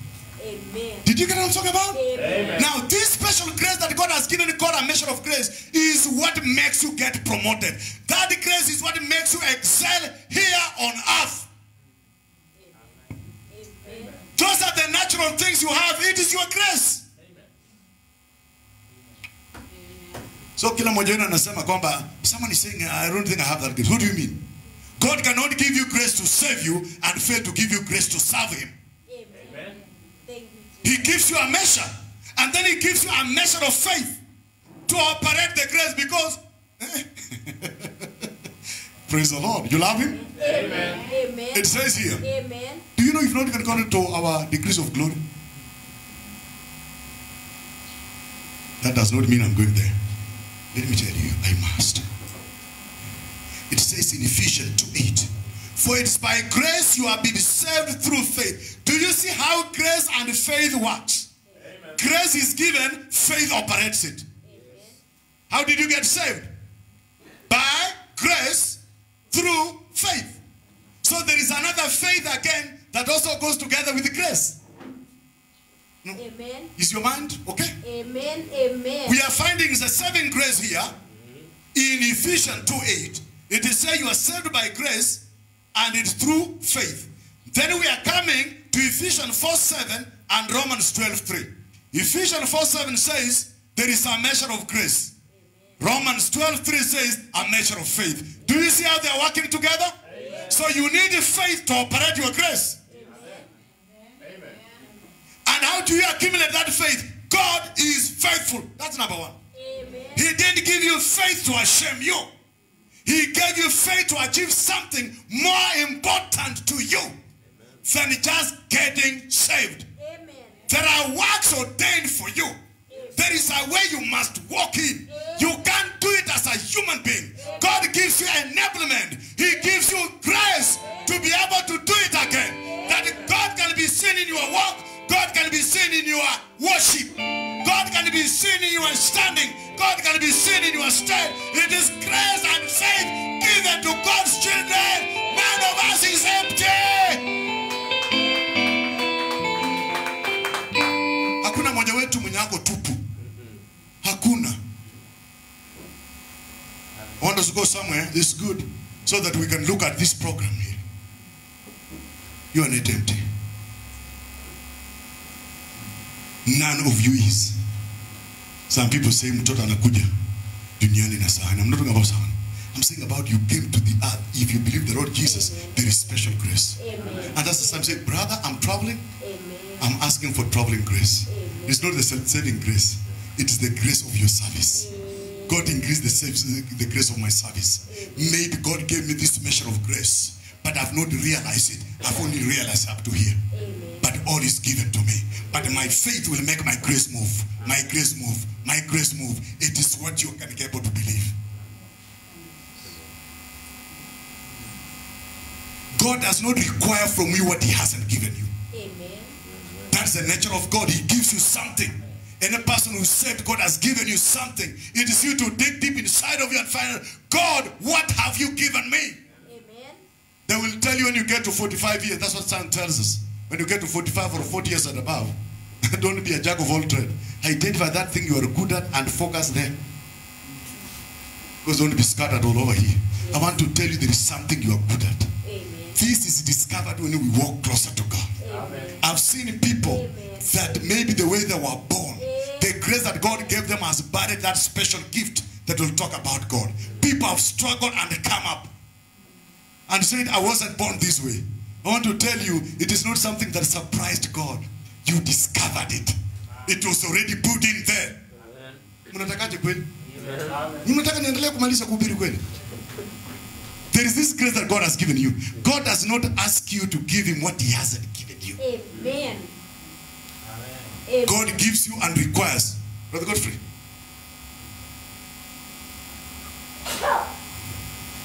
That's still okay. Praise the Lord. The Bible talks about stewards. I don't know where I've written it, but it's, it's no big deal. The stewardship here, the Bible is talking about. Jesus Christ in Matthew 18 19. For us. I want us to look at the kingdom people and see Simon Peter coming to ask a question. Say, Father, we have left this. What are you going to give us? He wasn't talking about salvation.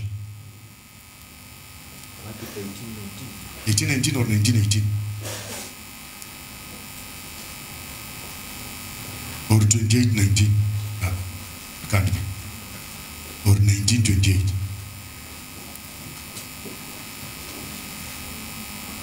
You, I know I'm looking Yeah, for. Matthew 19 28. Yeah, 1928. Verse 27. Then answered Peter and said unto him, Behold, we have forsaken all and followed thee. What shall we have therefore? Was Simon Peter asking for salvation? No. and Jesus said unto them, Verily I say unto you, that ye which have followed me in the regeneration, when the Son of Man shall sit in the throne of his glory, What is the throne of his glory? Matthew 25 Yes. Is the throne of his glory. yeah, When he sits there, what is he going to do with the disciples? Read for us. Continue. shall sit in the throne of his glory, He also shall sit upon twelve thrones, judging the twelve tribes of Israel. Ha! So this reward has to do with authority. Yes. Amen. Because our too. Yeah. Are we okay? Yeah. We are looking at the prophetic program. We see how people are going to be rewarded. We didn't know there was salvation by grace. We didn't know there was the judgment seat until Paul came. Amen. Paul is telling us this is not all. Oh my God. Amen. Then he says, read for us Romans 8. 8 what now? 8 18. We are still going back there. Don't, don't forget this. Or you think we'll forget. If you think, for, God put your finger there. We talk a little bit about this. Simon Peter, there was something that had not been given out. Who will be the judges of the 12 tribes? And then Simon Peter is saying, Look here.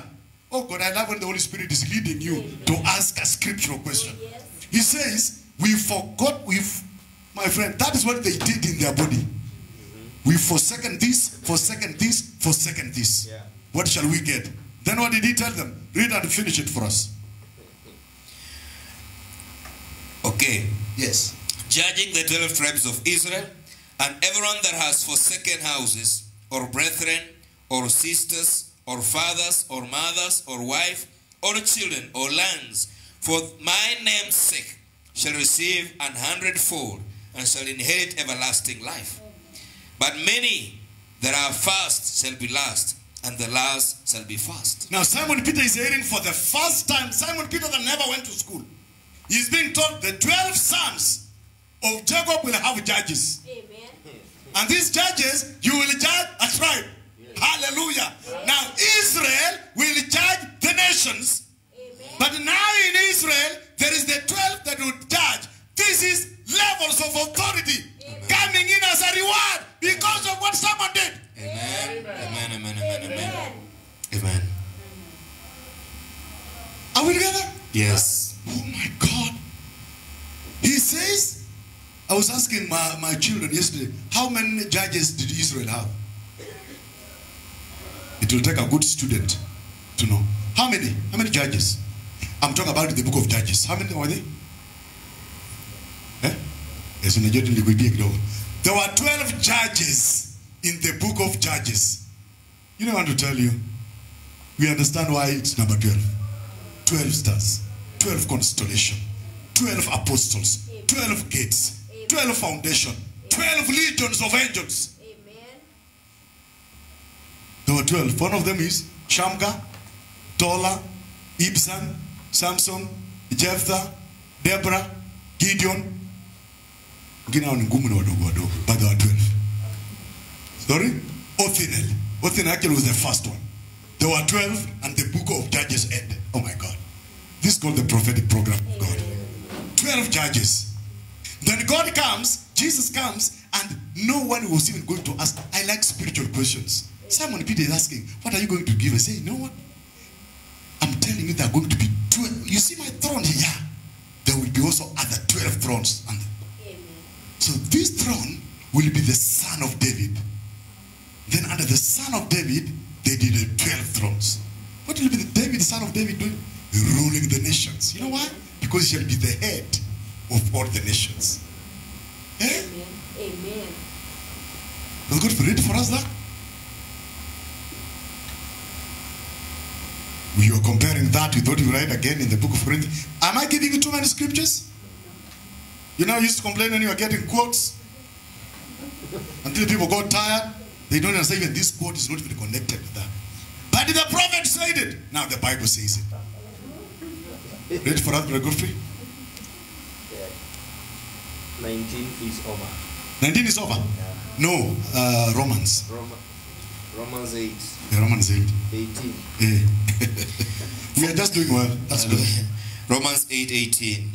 For I reckon that the suffering of this present time are not worthy to be compared with the glory which shall be revealed in us. He's talking of a glory that shall be revealed. I may not even cover the whole thought. He says this present suffering cannot be compared with the glory that shall be revealed. That scripture works hand in hand in, with Second Corinthians 4.17. This light affliction worketh for us exceeding weight of glory. That means a suffering in your life is connected to a specific glory. Amen. Amen. Amen. You are busy writing, eh? A certain suffering that wraps itself around a certain glory. There is a relationship between your suffering with the glory that shall be revealed. Amen. Ah. Amen. Suffering don't come for nothing. They are connected to a glory. That's why Paul says, I reckon the present suffering cannot be compared. Why can they be compared? When they are put on the scale, the glory is bigger. It is light affliction connected to our glory. This one only happens not because we believe Jesus died, but because God gave you grace. You operated your faith. You moved in your position. There is something you did in your body. You suffered too, but there is a glory connected to it. Amen. Amen. My brother, this thing happened to me. It was raining in town and I was seated in the car. It happened to me. I said, I came home. I told my shalom. Eh, eh, eh, what I saw on the glory that is coming, if I talk about it, people will think this man is ready to die. Because he looks to be so ready. Because of what lays ahead. You have to get to a place where this thing does not matter. You have to get to a place you realize every single suffering I'm going through something that no other person is going through. Is connected to a certain indi- what's the what, not the word connect. What is the word in English? Corresponds. This suffering corresponds to a glory. Because there is this glory, that's why there is this suffering. If that glory was not there, this kind of suffering wouldn't be here. There is a relationship between what you are going through and what you are coming into. You are coming into something, that's why you are feeling this way. The Bible says Jesus Christ for the glory. What is it? That was set aside. What is the one there in the Hebrews 12? Endure. Hebrews 12. Akikufunga kutu haraka haraka. Amen. Looking unto Jesus, the author and the finisher of our faith, who for the joy that was set before him endured the cross, despising the shame, is set down at the right hand of the throne of God. Now, the thing that inspires a person to persevere in suffering is the joy that lays ahead of him. Amen. The Bible says, For the joy that was laid before Jesus, Yes. he endured the cross and he didn't want the shame. Amen. Despising. Despised the shame. Amen. They stripped him. The Bible says, If we suffer with him, we shall reign with him. There is another life after this life. My suffering is connected to something. I'm telling the devil, I may not have it today, but what about the cities? Amen. Luke 1918.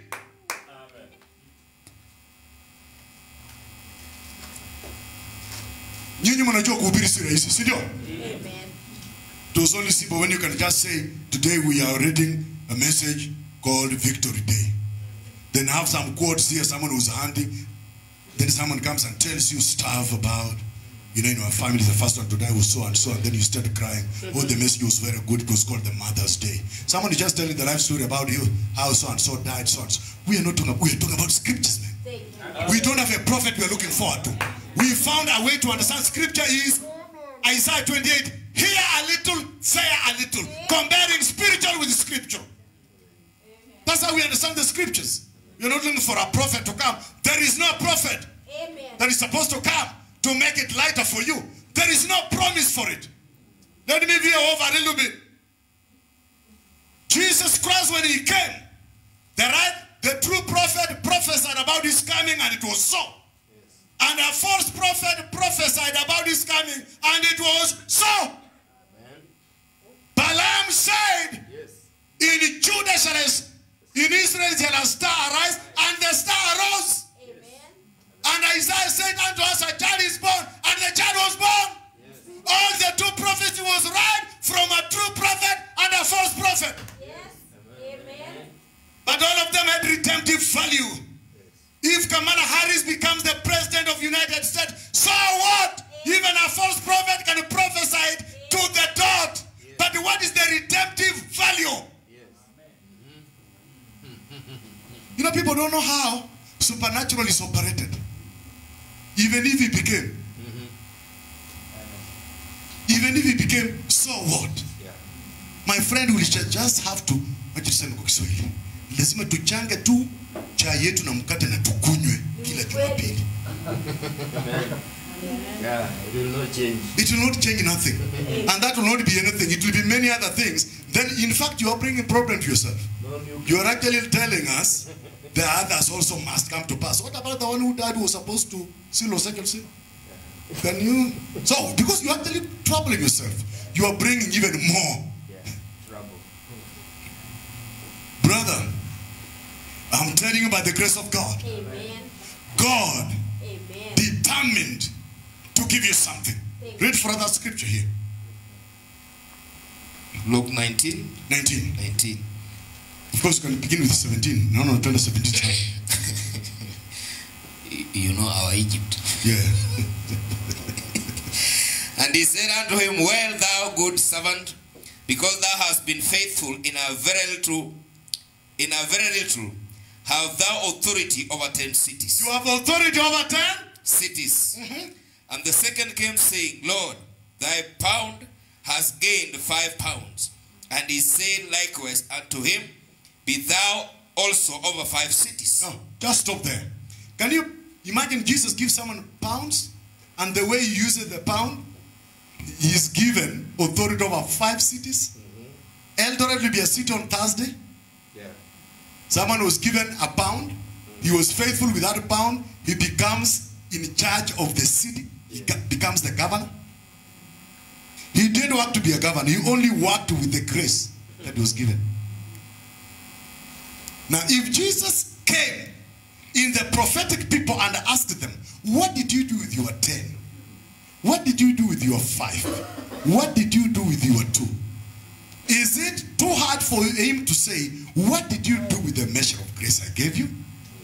If he's asking the prophetic people about the talents, is it hard for him to ask the mystery people about the grace?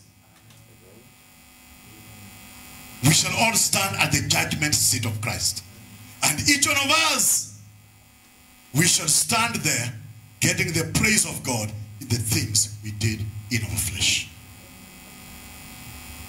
So Simon Peter, let me just read for you, uh, um, read for me Deuteronomy 32 verse 8. I want to come to a place where we, yeah, that's good. Come to a place where we can bring it to. Is Jesus Christ, is God involved in both graces? Grace for salvation and grace for service? Amen. Have we found a new word? There is grace for service and faith for service? Amen. Amen. Did we find faith for salvation and grace for salvation? Have we found faith for service and grace for service? Are we finding reward for service and salvation by grace? Are we getting rewards because of works and salvation because of grace? So grace and works work together because you have a step and you have a standing. Amen. Godfrey, Yes. you're reading for us that? Deuteronomy 32 8. Mm. Then you read for us Timothy 2 1 7. Deuteronomy 32 8. When the Most High divided the nations, their inheritance, What does the word the Most High mean? Amen. El Elyon, the possessor of heaven and And earth. earth. When he did what? Divided the nation, the inheritance, when he separated the sons of Adam, When he divided the nation the inheritance, this will be this, this will be this, this will be this, and gave them the inheritance. All the sons of Adam. Those are the nations we have today on earth. amen, Yeah, what did he do? he sets the bounds of the people according to the number of the children of Israel. Can you imagine? There had to be Israel first Yes, before there could be nations. If there is no Israel, there are no nations. yes, And that's why the judgment of the nations is based on how they treat Israel. amen, Now, if it's going to be divided, it means even in the millennium, we are going to have blocks. And there will be 12 blocks, according to the number of the children of Israel. The whole world, devil is the greatest plagiarist there is. He plagiarized God's government and then said, I'm going to give uh, Cape Verde Burkina Faso, Angola, and Mozambique, it will be Portuguese. And then Africa, hapa, Tanzania, Uganda will be British, and you, and perhaps Nigeria. Then there will be French. They were being colonized by the people. But I want to tell you, you will see a better government in the millennium. You won't be here. It's now when God, these people have been sent out to evangelize the world. Bring the world to one Messiah, Jesus. And some people will reject it. The people that will reject that kind of rulership. That's what the Bible says. And he shall rule the nations with the rod of iron. It will be Jesus Christ ruling the nations with the rod of iron. For someone to be ruled with the rod of iron, that must be dictatorship. Because they don't want to be subject, right? So they must be ruled by the rod of iron. And this nation called Israel is going to evangelize. Teach them the law. Amen. Amen. Amen? Teach them the true God of Israel. Yes. This is the people, the bearer of their blessing. That is Israel. And then there'll be the 12. Let me not go there. That will be the 12, the 24. Jesus, the 12, the 24, as it comes down. Amen. Out of these nations, there will be people that will be here on earth in the new earth. Amen. But out of the same nations, there are nations that will test of the rulership of Jesus, but they will rebel. That's the Bible says, and the devil was released after a thousand years, and he entered into the nations that have also been multiplied on the earth to fight Jesus. Then the fire came from heaven and destroyed them. So there will be nations in the millennium that are not saved, who will cross over into the millennium. Do you hear me? Amen. And they will be tested. And these are the people that will rebel. So there will be birth. There will be natural birth in the millennium. Mm. There will even be death in the millennium. Not all of them. Israelite who have been translated, there will be two types of people there. There are those who are eternal and those who are physical that will die. The Bible says an old man. Does it say an old man? The book of Isaiah talks about an old man and a young child. And at the same time, I want to say this. People have tested the rulership of Jesus. People who have rejected Israel today, that same spirit that have persecuted them all over, up to where we are, that spirit will rise again. It will rise, it will enter into the nations. The way the behavior of the nation today, you see, Iran did this, Iraq did this, Lebanon did this. These are the people at that time are the one that will gang up against the city and the Israelite. And they'll be destroyed. They'll be given a chance here. There are people in Matthew 25 who have treated Israel right and they're entering into the millennium. Some of them will get there and rebel. Are we together so far? I'm telling you, there is something great that is awaiting all of us. It is a glory. Amen. Let me, God, give me grace to finish this part. When you stand there as someone saved by grace, you've been running because Paul, Paul in 2 Timothy 2 1 to 7, Brother Godfrey, maybe read 2. 2 Timothy 2 3 to 7. I want to get off Second. Timothy 2. Thou therefore endure hardness as a good soldier. So Timothy is being called a soldier. Thou, thou therefore endure hardness as a good soldier of Jesus Christ. Amen. No man that warreth entangleth himself with the affairs of this life, Amen. That he may please him who has chosen him to be a soldier. Amen. If a man also strive for masteries, yet he is yet is he not crowned except he, he strive lawfully.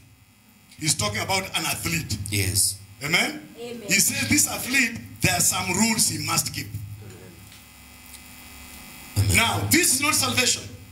Amen. Paul is looking at Timothy in the field of service. He is looking at him as an athlete, looks at him as a soldier, and looks at him at all. The next one is there. A, so, a soldier, an athlete, Go, go ahead. Just keep on reading. a husbandman. A husbandman. And the husbandman that laboreth must be first partaker of the fruits. Consider what I say, and the Lord give thee understanding in all things. He tells him, consider What I say, and the Lord give thee understanding in all things. Remember that Jesus Christ of the seed of David was raised from the dead according to my gospel, wherein I suffer trouble as an evildoer, even unto bounds, but the word of God is not bound. Amen. Let me read in the NIV. You then, my son, be strong in the grace that is in Christ Jesus. The things you have heard me say in the presence of many witnesses, entrust to reliable people who will also be qualified to teach others. Join with me in suffering like a good soldier of Jesus Christ. No one serving as a soldier gets entangled in civilian affairs but rather tries to please his commanding officer. Similarly, anyone who competes as an athlete does not receive the victor's crown except by competing according to the rules. The hard-working farmer should be first to receive a share of crops. reflect on what I'm saying, for the Lord will give you insight into all this. Amen. A soldier, the discipline of a soldier, the dedication of an athlete, and the diligence of a farmer all sums up what we are in service for Him, not in salvation. Amen. Amen. Amen. Then Paul comes and says, I don't bang the air. He looks at himself as a boxer. He looks at himself as a race runner. And he says, run with patience. You don't run to get saved. You don't train to get saved. You don't become a tree to get saved. You don't become a farmer that knows the rain to get saved. These are the things that describe the second part of you after you got saved. You are an athlete. You are a farmer. You are a soldier into a hardness. Are we together so far? We want to come to the second last final thing. I want us to go and read Second Corinthians 11. And I want you guys to look at that and really reflect on what Paul says in First Corinthians, no, first, uh, Romans 8.18. He says cannot be compared. And then in the book of Corinthians, he said the light affliction. We want to see how light was it for Paul and what inspired Paul. My brother, Jesus Christ, when you see that thing that is said before you, the joy that is said before you, you get inspired. Godfrey read for us? Second Corinthians 11. Yes, Second Corinthians 11. I'm missing what I want to do, but no problem. is it verse 24? Paul is talking about, and I don't have it here. Stripes. Paul is talking about his suffering. Okay. 11 verse um, 24. Verse 23. As the ministers of Christ I speak as a fool. I am more. In labors more abundant. In stripes above measure. In what? In stripes above measure. In prison more frequent. In death oft. Verse 24. Of the Jews, five times received I 40 stripes, save one. Ati? Of the Jews, five times received I 40 stripes, save one. And he's calling it the light, Affliction. and he's saying you will he received how many stripes? 40 less one. So that is 40 times. Five. Oh, Give us the number. That is 39 min- times five. What is that? Hmm. And then Paul comes and says, light affliction. He says the weight of it cannot be compared. What did you see, Paul? Amen. How, how- how many? Mwalimu? 195? Yes. Or any student, how many did you receive in school? the highest.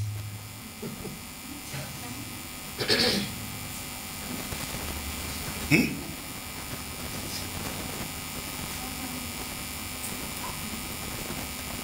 Who received the highest?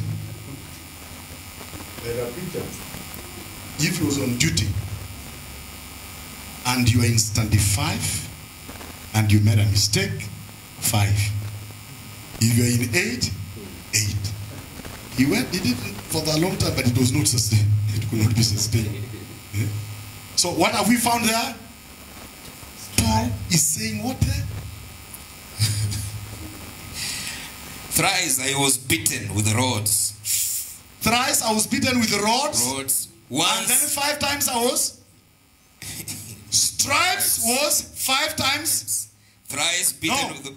40 times 5 Yeah. with the stripes. With the rod, how many times? Thrice. Thrice with the rods. And you know how many times? How many of them? They were told if you are punishing or correcting 39. So this one was also 30. 39. Uh-huh. It was in the Bible. Thrice I was, I was beaten with rods. Once I was stoned. Thrice I suffered shipwreck. Ati, once I was stoned, I suffered shipwreck. Thrice I suffered shipwreck. Uh-huh. A night and a day I have been in the deep. Uh-huh. In journeys often, in perils of waters, in perils of robbers, in perils of mine own countrymen, in perils by the heathen, in perils in the city, in perils in the wilderness, in perils in the sea, in perils among false brethren, in weariness and painfulness, in watchings often, in hunger and thirst, in fasting often, in cold and nakedness, beside those things that are without, that which cometh upon me daily, the care of all the churches. Churches. Where is Peter there? During that time, Peter is not there. He says, above all that comes the care of the churches. So you have a pastor who has been smitten.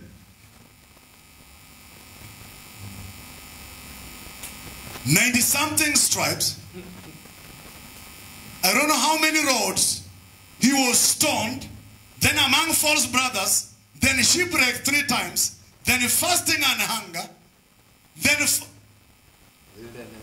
wilderness. Then he comes and says, the light affliction we receive in a moment mm-hmm. cannot be compared. Amen. What did you see Paul beside salvation? Then he comes to a place he says, brothers, I've finished my course. I've kept the faith. I'm ready to be offered. He looked at his death as an offering, Yes.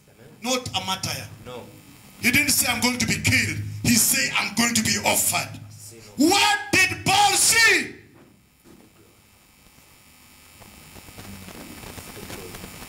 Sister Yano, many a time we've looked at the suffering and we've not known all those suffering when it stand there.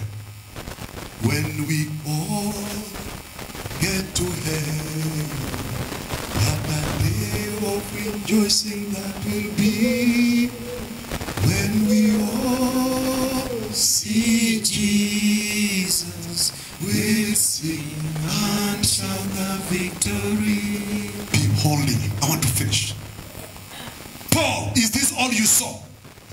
No person who cannot see the judgment seat of Christ with this and he cannot give up. He will. Eh? Did you say how many stripes are those? Two? 100 stri- 195. 195 stripes? And then how many rods?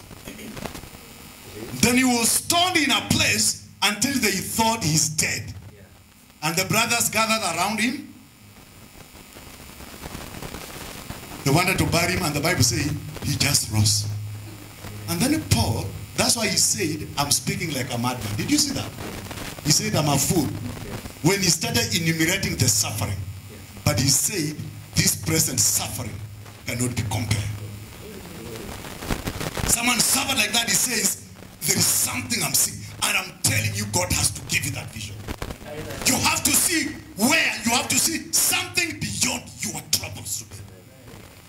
Don't give up. Listen to me. Don't give up. Paul becomes a pattern in all ways. He says, I labor every day that you may receive salvation with eternal glory. Amen. There is a glory. And that glory is, shall be revealed. Is, can I finish? Yes. This glory is not going to come like a garment. It has got layers of glory. It will come to you. There is the glorified body, yes. But at the judgment seat of Christ, I want to tell you when we call, when is he called the general, whoever he is in the army, he calls somebody, brother Ogola come, and then Ogola comes, and this man has something good.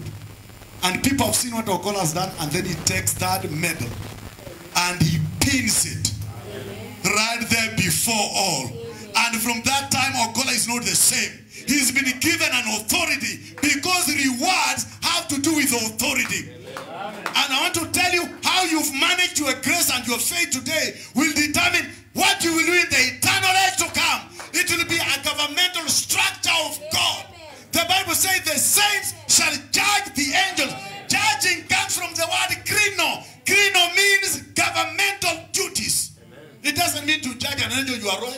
You are wrong. We are not going to judge those evil angels. God is going to judge them. But then the Bible says you'll judge the angels. It means your angels are going to be put under you. Amen. Amen. Oh, at the judgment seat of Christ, authority is conferred to you. Because you've been faithful in this, you get that. Amen? Because you've been faithful in five talents, you get five cities. If you've been faithful with the grace God has given you, it requires faithfulness. Then, mumeelewa siku ya leo? What made paul to continue with all this? He saw something. At the judgment seat of christ. I'm seeing the degrees of glories. Something that stands there. I, I may not have taken so much time on that but uh, we've gone through so much with you. Amen.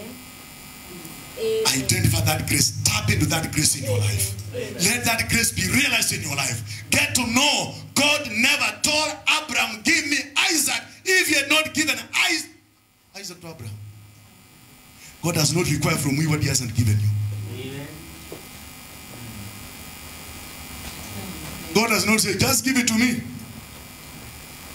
I was being told in a church somewhere. I was told that in brazil the sister was telling me I was a wife of the pastor right there before he came here. We were in a church called Universal Church. And then they were supposed to buy a pastor something, a big car. And then were, you have to you have to give. And then this man will stand and say, even just have a laugh for your brother. Give for your brother if you don't have. Just give for your brother. Even if you have a watch, just bring it. If you have a chain, call and bring it. That is pleasing people. Mimi naongea kuhusu actually cheerful givers. Munisikie na munisikie leo. I'm talking about cheerful givers. I'm talking about someone who's so cheerful when he's giving that it turns up into a strength. I'm not talking about duties anymore. That time of duties and commandment is over. We are now seeing something at the Bema seat of Christ. The Bible says, those who turn many from unrighteousness shall shine like the stars of the firmament. First Corinthians 15 says, every star has a glory that differs from another one. Are not the same. And you shall shine like a star. Your resurrection, when you get resurrected, you are only getting into a little glory. But when you go right there, things will be conferred on you. Then you realize it was what they got saved. Brother Ben sings a song. Ulifanya vema kuniokoa mimi. Ulifanya vema kuniokoa. Yes. When you say, Father, I'm reaping the best out of this. It is possible you'll have challenges in your life. I'm finishing. You'll have things in your life that will discourage you. But look at the prize. Forget the past. Amen. Amen. Thank you, Jesus. Amen. God is going to confer those things upon you. You did not make a wrong decision. Influence other people. There is a ground that is coming. Then Paul said, I want us now to look at the suffering of Paul. And I want us to see Paul now flipping the coin. He has finished Second Corinthians 11. Let's go to Second Corinthians 12. I want you to see what Paul saw. Listen to me. Lastly, see what Paul saw that inspired him. We've agreed with you the things that Paul went through. No human being on earth today can outdo what Paul did in persevering. What about those who died? You only die once. You go there and they chop your head off and you're gone. Paul was not like that. Paul was, you said 100 and what? 195. And then all those things that happened, stone and left for dead, he rises up and still follows Christ. Still follows Christ. No one in the gospel will suffer the way Paul suffered because he's a pattern. He was telling her this thing is real. I looked at that and said, Brother, you may have slept hungry. Let me use that example. Don't give up.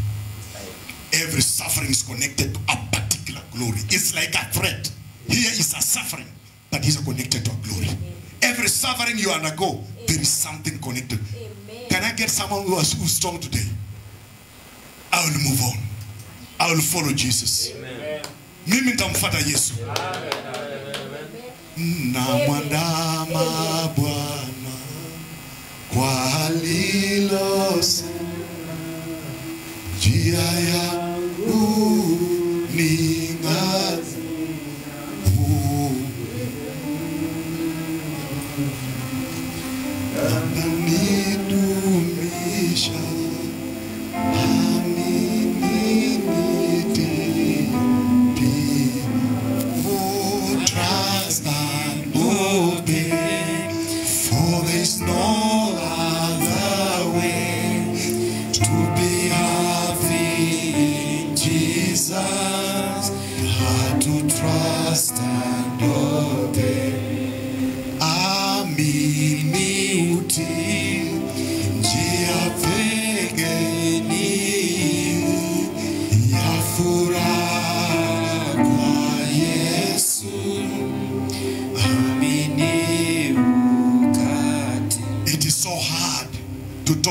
Christians today. You've suffered.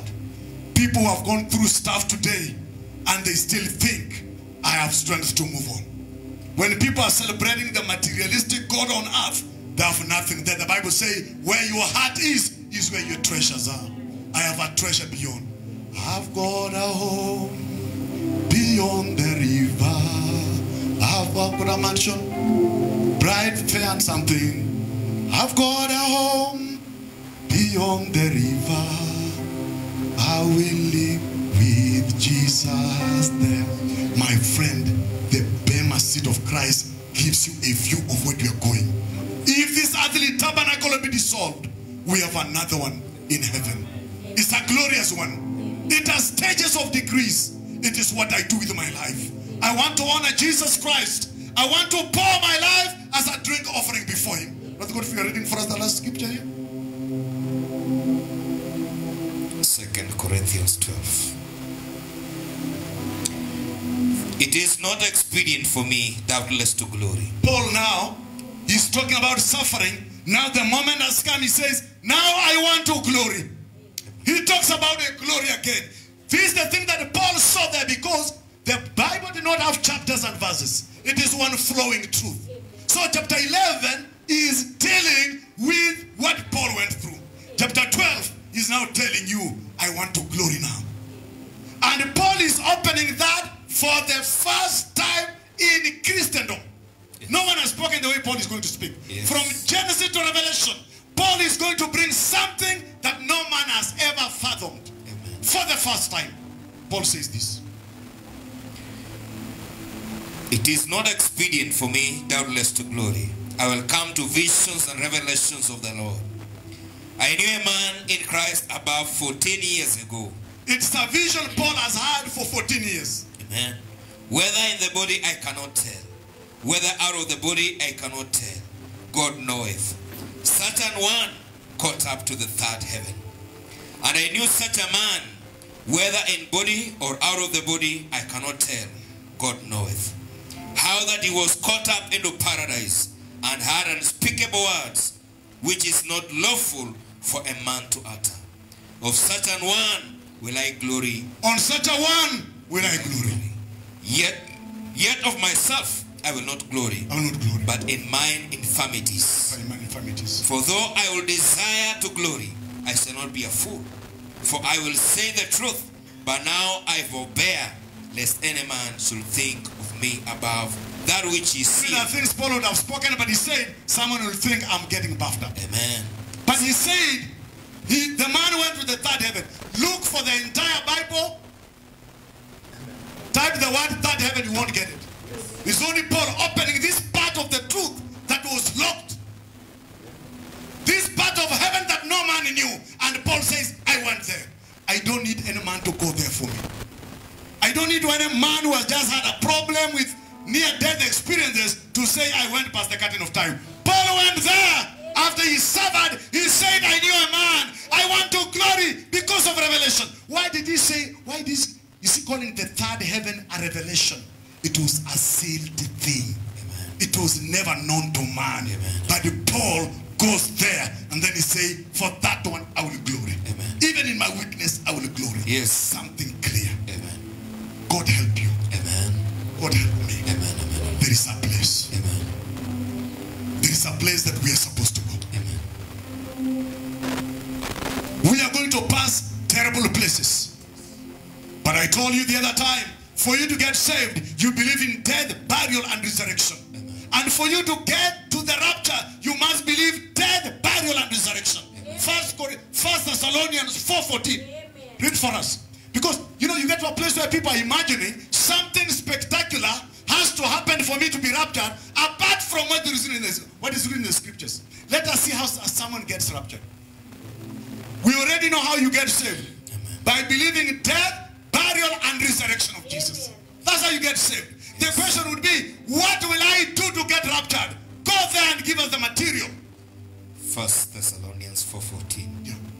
For if we believe that Jesus died and rose again, If we believe Jesus died and rose and again, rose again, even so then So them also which sleep in Jesus will God bring with him. He's talking about rapture is going to be if you believe Yes. Jesus died and resurrected. Amen. So shall he come with those who slept in him. For what reason? Amen. For this we say unto you by the word of the We Lord. say unto you by the word of God. The word of God is not just a scripture. That word was not there before until Paul came. Amen. So when he said we tell you by the word of God, it means it's something that has now been revealed. The third heaven has released something for the heavenly people. We tell you about the word of God. That vision we are getting there in First Thessalonians is not different from Second Corinthians 12. He's talking about the same place. But now, Thessalonians is showing you how you'll go to the third heaven. Here he visited. Yes. Here he comes up with a program. Is there seven thunder somewhere? No. Is there rapture in faith somewhere? No. Is there something special somewhere? No. If you believe in the death and the burial of the Lord Jesus, if the same spirit that raised Christ from the dead Amen. dwelleth in you, he that raised Christ Amen. from Calvary to be justified, to believe the gospel, to receive the Holy Ghost, to be raptured in the sky until the archangel picks you up and takes you, you stand there to receive authority because you are passing in a place where no human being can pass. Amen. The second heaven. Sure. The first place that was defiled will have to pass away for you. So that it can be a new heaven. For who? Amen. Amen. Amen. New heaven for who? For me. Amen. Amen. Paul went, why did Paul go there if it had nothing to do with you? Did Peter go there? No. Have you read where Peter say I went to the third heaven? No. Peter would be go to the third heaven too. We were told to pray the kingdom of heaven. Come, come. Come. Amen. We are told we shall sit on the throne of his Here. Amen. But why would you go to heaven? For a heavenly people. Amen. For a pattern. After suffering all that, God opened to him. He said, Come over here. I show you the glory. He said, In this I will glory. By the grace of God. If I'm repeating someone's experience, God be merciful. You are not repeating experience. It's written there for you. You love the Lord Jesus Christ. When the children of Israel were coming out, that's my last word. When they were coming out, God had given them the land. But before, someone already occupied that land. When they entered the land, they found there were seven nations in that land. But they could not fight that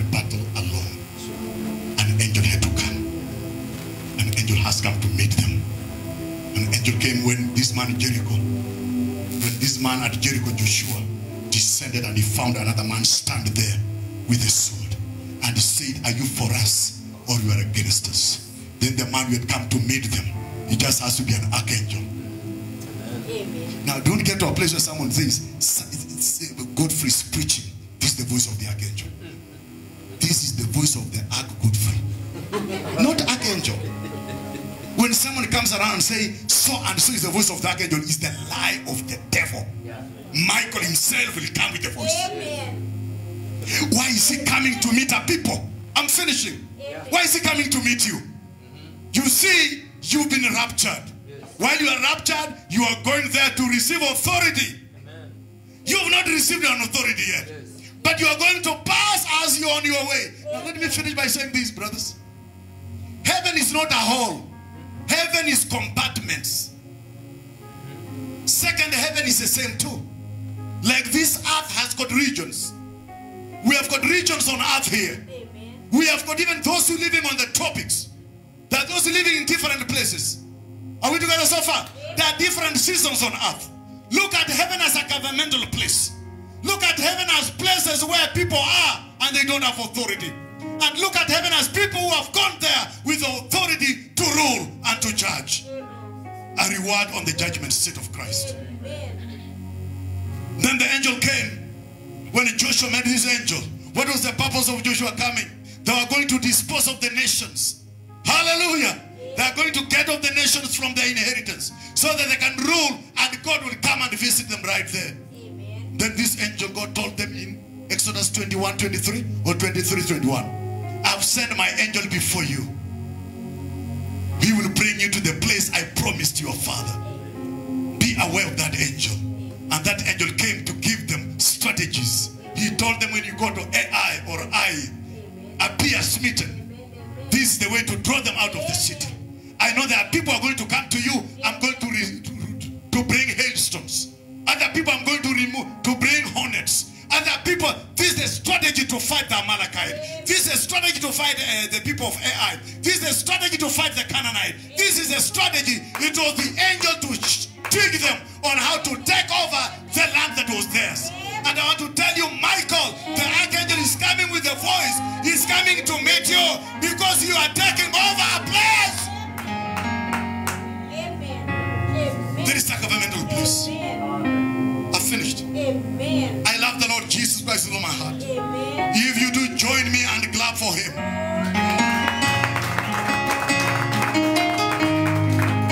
And I saw Michael, and I saw that dragon fighting with Michael, and their place was no more.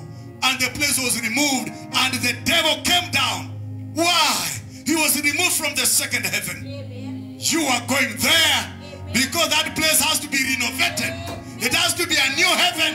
And I saw a new heaven and a new earth. The new heaven for the new people. The new earth for the government, the, the kingdom people Israel. We are going up to heaven. And the angel is coming to take care of you. Because the first thing to be defiled was a heaven. That was the first defilement took place. The Bible tells us in the beginning God created the heavens, plural, and the earth, singular. And that's the end. And the earth was without form and it was void. And the Spirit of God moves upon the earth. But I want to tell you, nothing is mentioned about heaven until Paul comes. He saw a heaven, he saw a place. He went up to the third heaven. God has a place for you this third heaven, the way the tribes, the nation were disposed of the land of promise, is the same way the powers in the spirit world are going to be shaken off, renovated for our people. There we shall reign. The third heaven is for God. The second heaven is the place where he, the devil defiled. God is changing it for you. Praise the Lord. Give him a hand clap. the glory of the Lord. Nothing can be compared to what lays ahead of you. It's only the throne of mercy. I mean, it's only the judgment seat of Christ that shows you there is a place you are going. It shows you this suffering cannot be compared. There is a glory connected to your suffering. You will suffer with him that you may reign with him. Amen. There is a place. It's a heavenly place. That is even before the heaven and earth become one in the ages to come.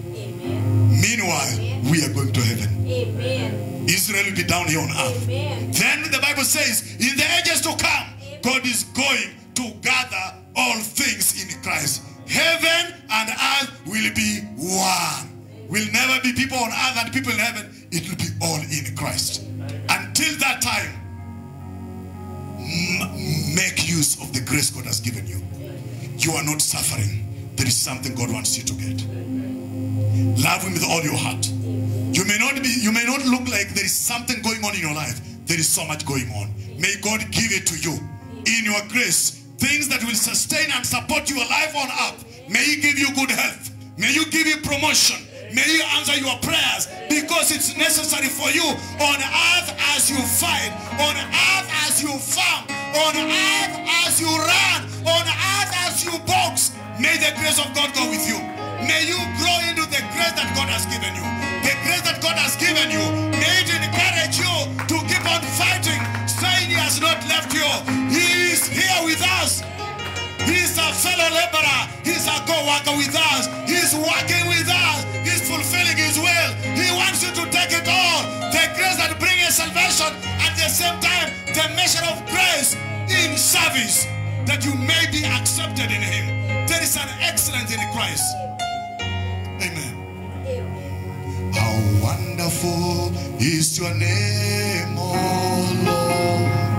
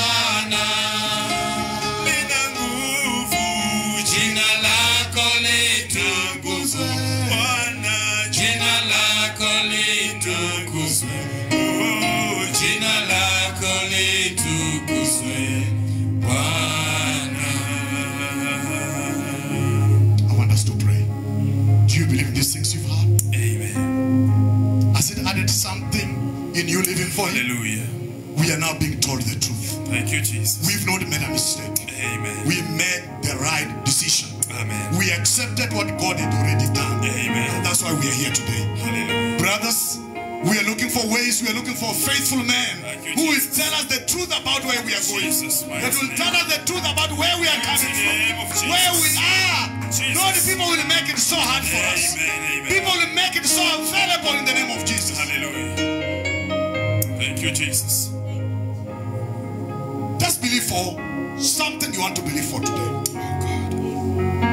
If this is the God that rewards people, Oh, He's called Jehovah Gemula. Oh, God. Comes and gives people things they never asked Thank for. you, Jesus. He comes to a woman and tells her, asks Gehazi, what does he need? Then the woman says, I'm okay. He says, no, I'm going to give you a baby. Thank you. Because of your faithfulness. That is works. Don't lose it. Don't just get salvation. Don't be like a Reuben, a son of Jacob, but yet he lost his blessing. Hallelujah. Something has been given to you. We are seeing by the grace of God. Grace and faith has been given specially Amen. for you to achieve. Thank you, God has not left you to sort it out.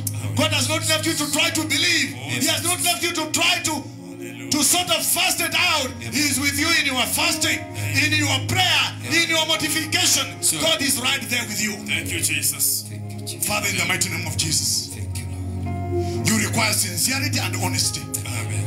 You require faithfulness among your people. Amen. You require a drink offering among your people. Amen. And even if Father, look at Paul saying, I'm ready to be offered. Oh, Father, He said he could have said, I'm ready to be killed. Oh, but he said, I'm ready to be offered. Oh, Father. Because he had emptied himself out. Sure. He said, I would rather be emptied out as a drink offering. Hallelujah. Father, we talked about drinking the Glory blood of the warriors. Amen. Heavenly Father, here are your people, Lord. Amen. These are not miserable people. Hallelujah. These are rulers and principles in the world of God.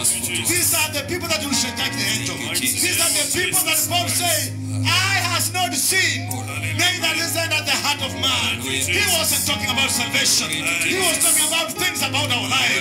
He was telling us prophesy. That was the prophecy about our future life. And by that we say, we need good life down here on earth. We need money down here on earth. We need good health down here on earth. We need school fees down here on earth. Hallelujah. We need, we need promotion down here on Lord earth. We need, we need deliverance down here on earth. Lord. We need the favor of God down here on earth. You the same God. Hallelujah. Remember your people are granted to them. That brother who has now gotten strength to move on. Oh, Jesus. That woman that has been divorced, Amen. left but has now found grace today. Sure. Father, there is a grace given to her. There is special grace. Amen. That's why when Paul was told, he asked, God told him, No, Thank you, Jesus. my grace is sufficient. It was not the grace of salvation, Hallelujah. it was the grace to be fruitful in service. Amen. Heavenly Father, we thank you. Thank you, There is nothing you require of us Amen. but to cooperate with you, you, to work together, Lord. Amen. Remember our sister Vivian, Lord. Our brother Ben, oh Father. Our sister Beatrice, Lord. Our sister Rosalind, Lord. Our sister Marianne, Father. Our sisters, the Macharias, Lord. Our brother Morano, Lord. Our Father. Lord Jesus. Our young men who are not in today. Family of saints. Our brother Onesimus, Lord. Our little faith, oh Father. Oh Amen. The saints of that are connected to us, Jesus. oh God. Hallelujah. Bless your people, Lord God. May they receive something, Lord. In the mighty name of Jesus. Hallelujah. Bless us as we go home. With our blessing. Amen. In the name of Jesus Christ. Amen. Amen. Amen. You may be seated. You love the Lord Jesus Christ. Amen.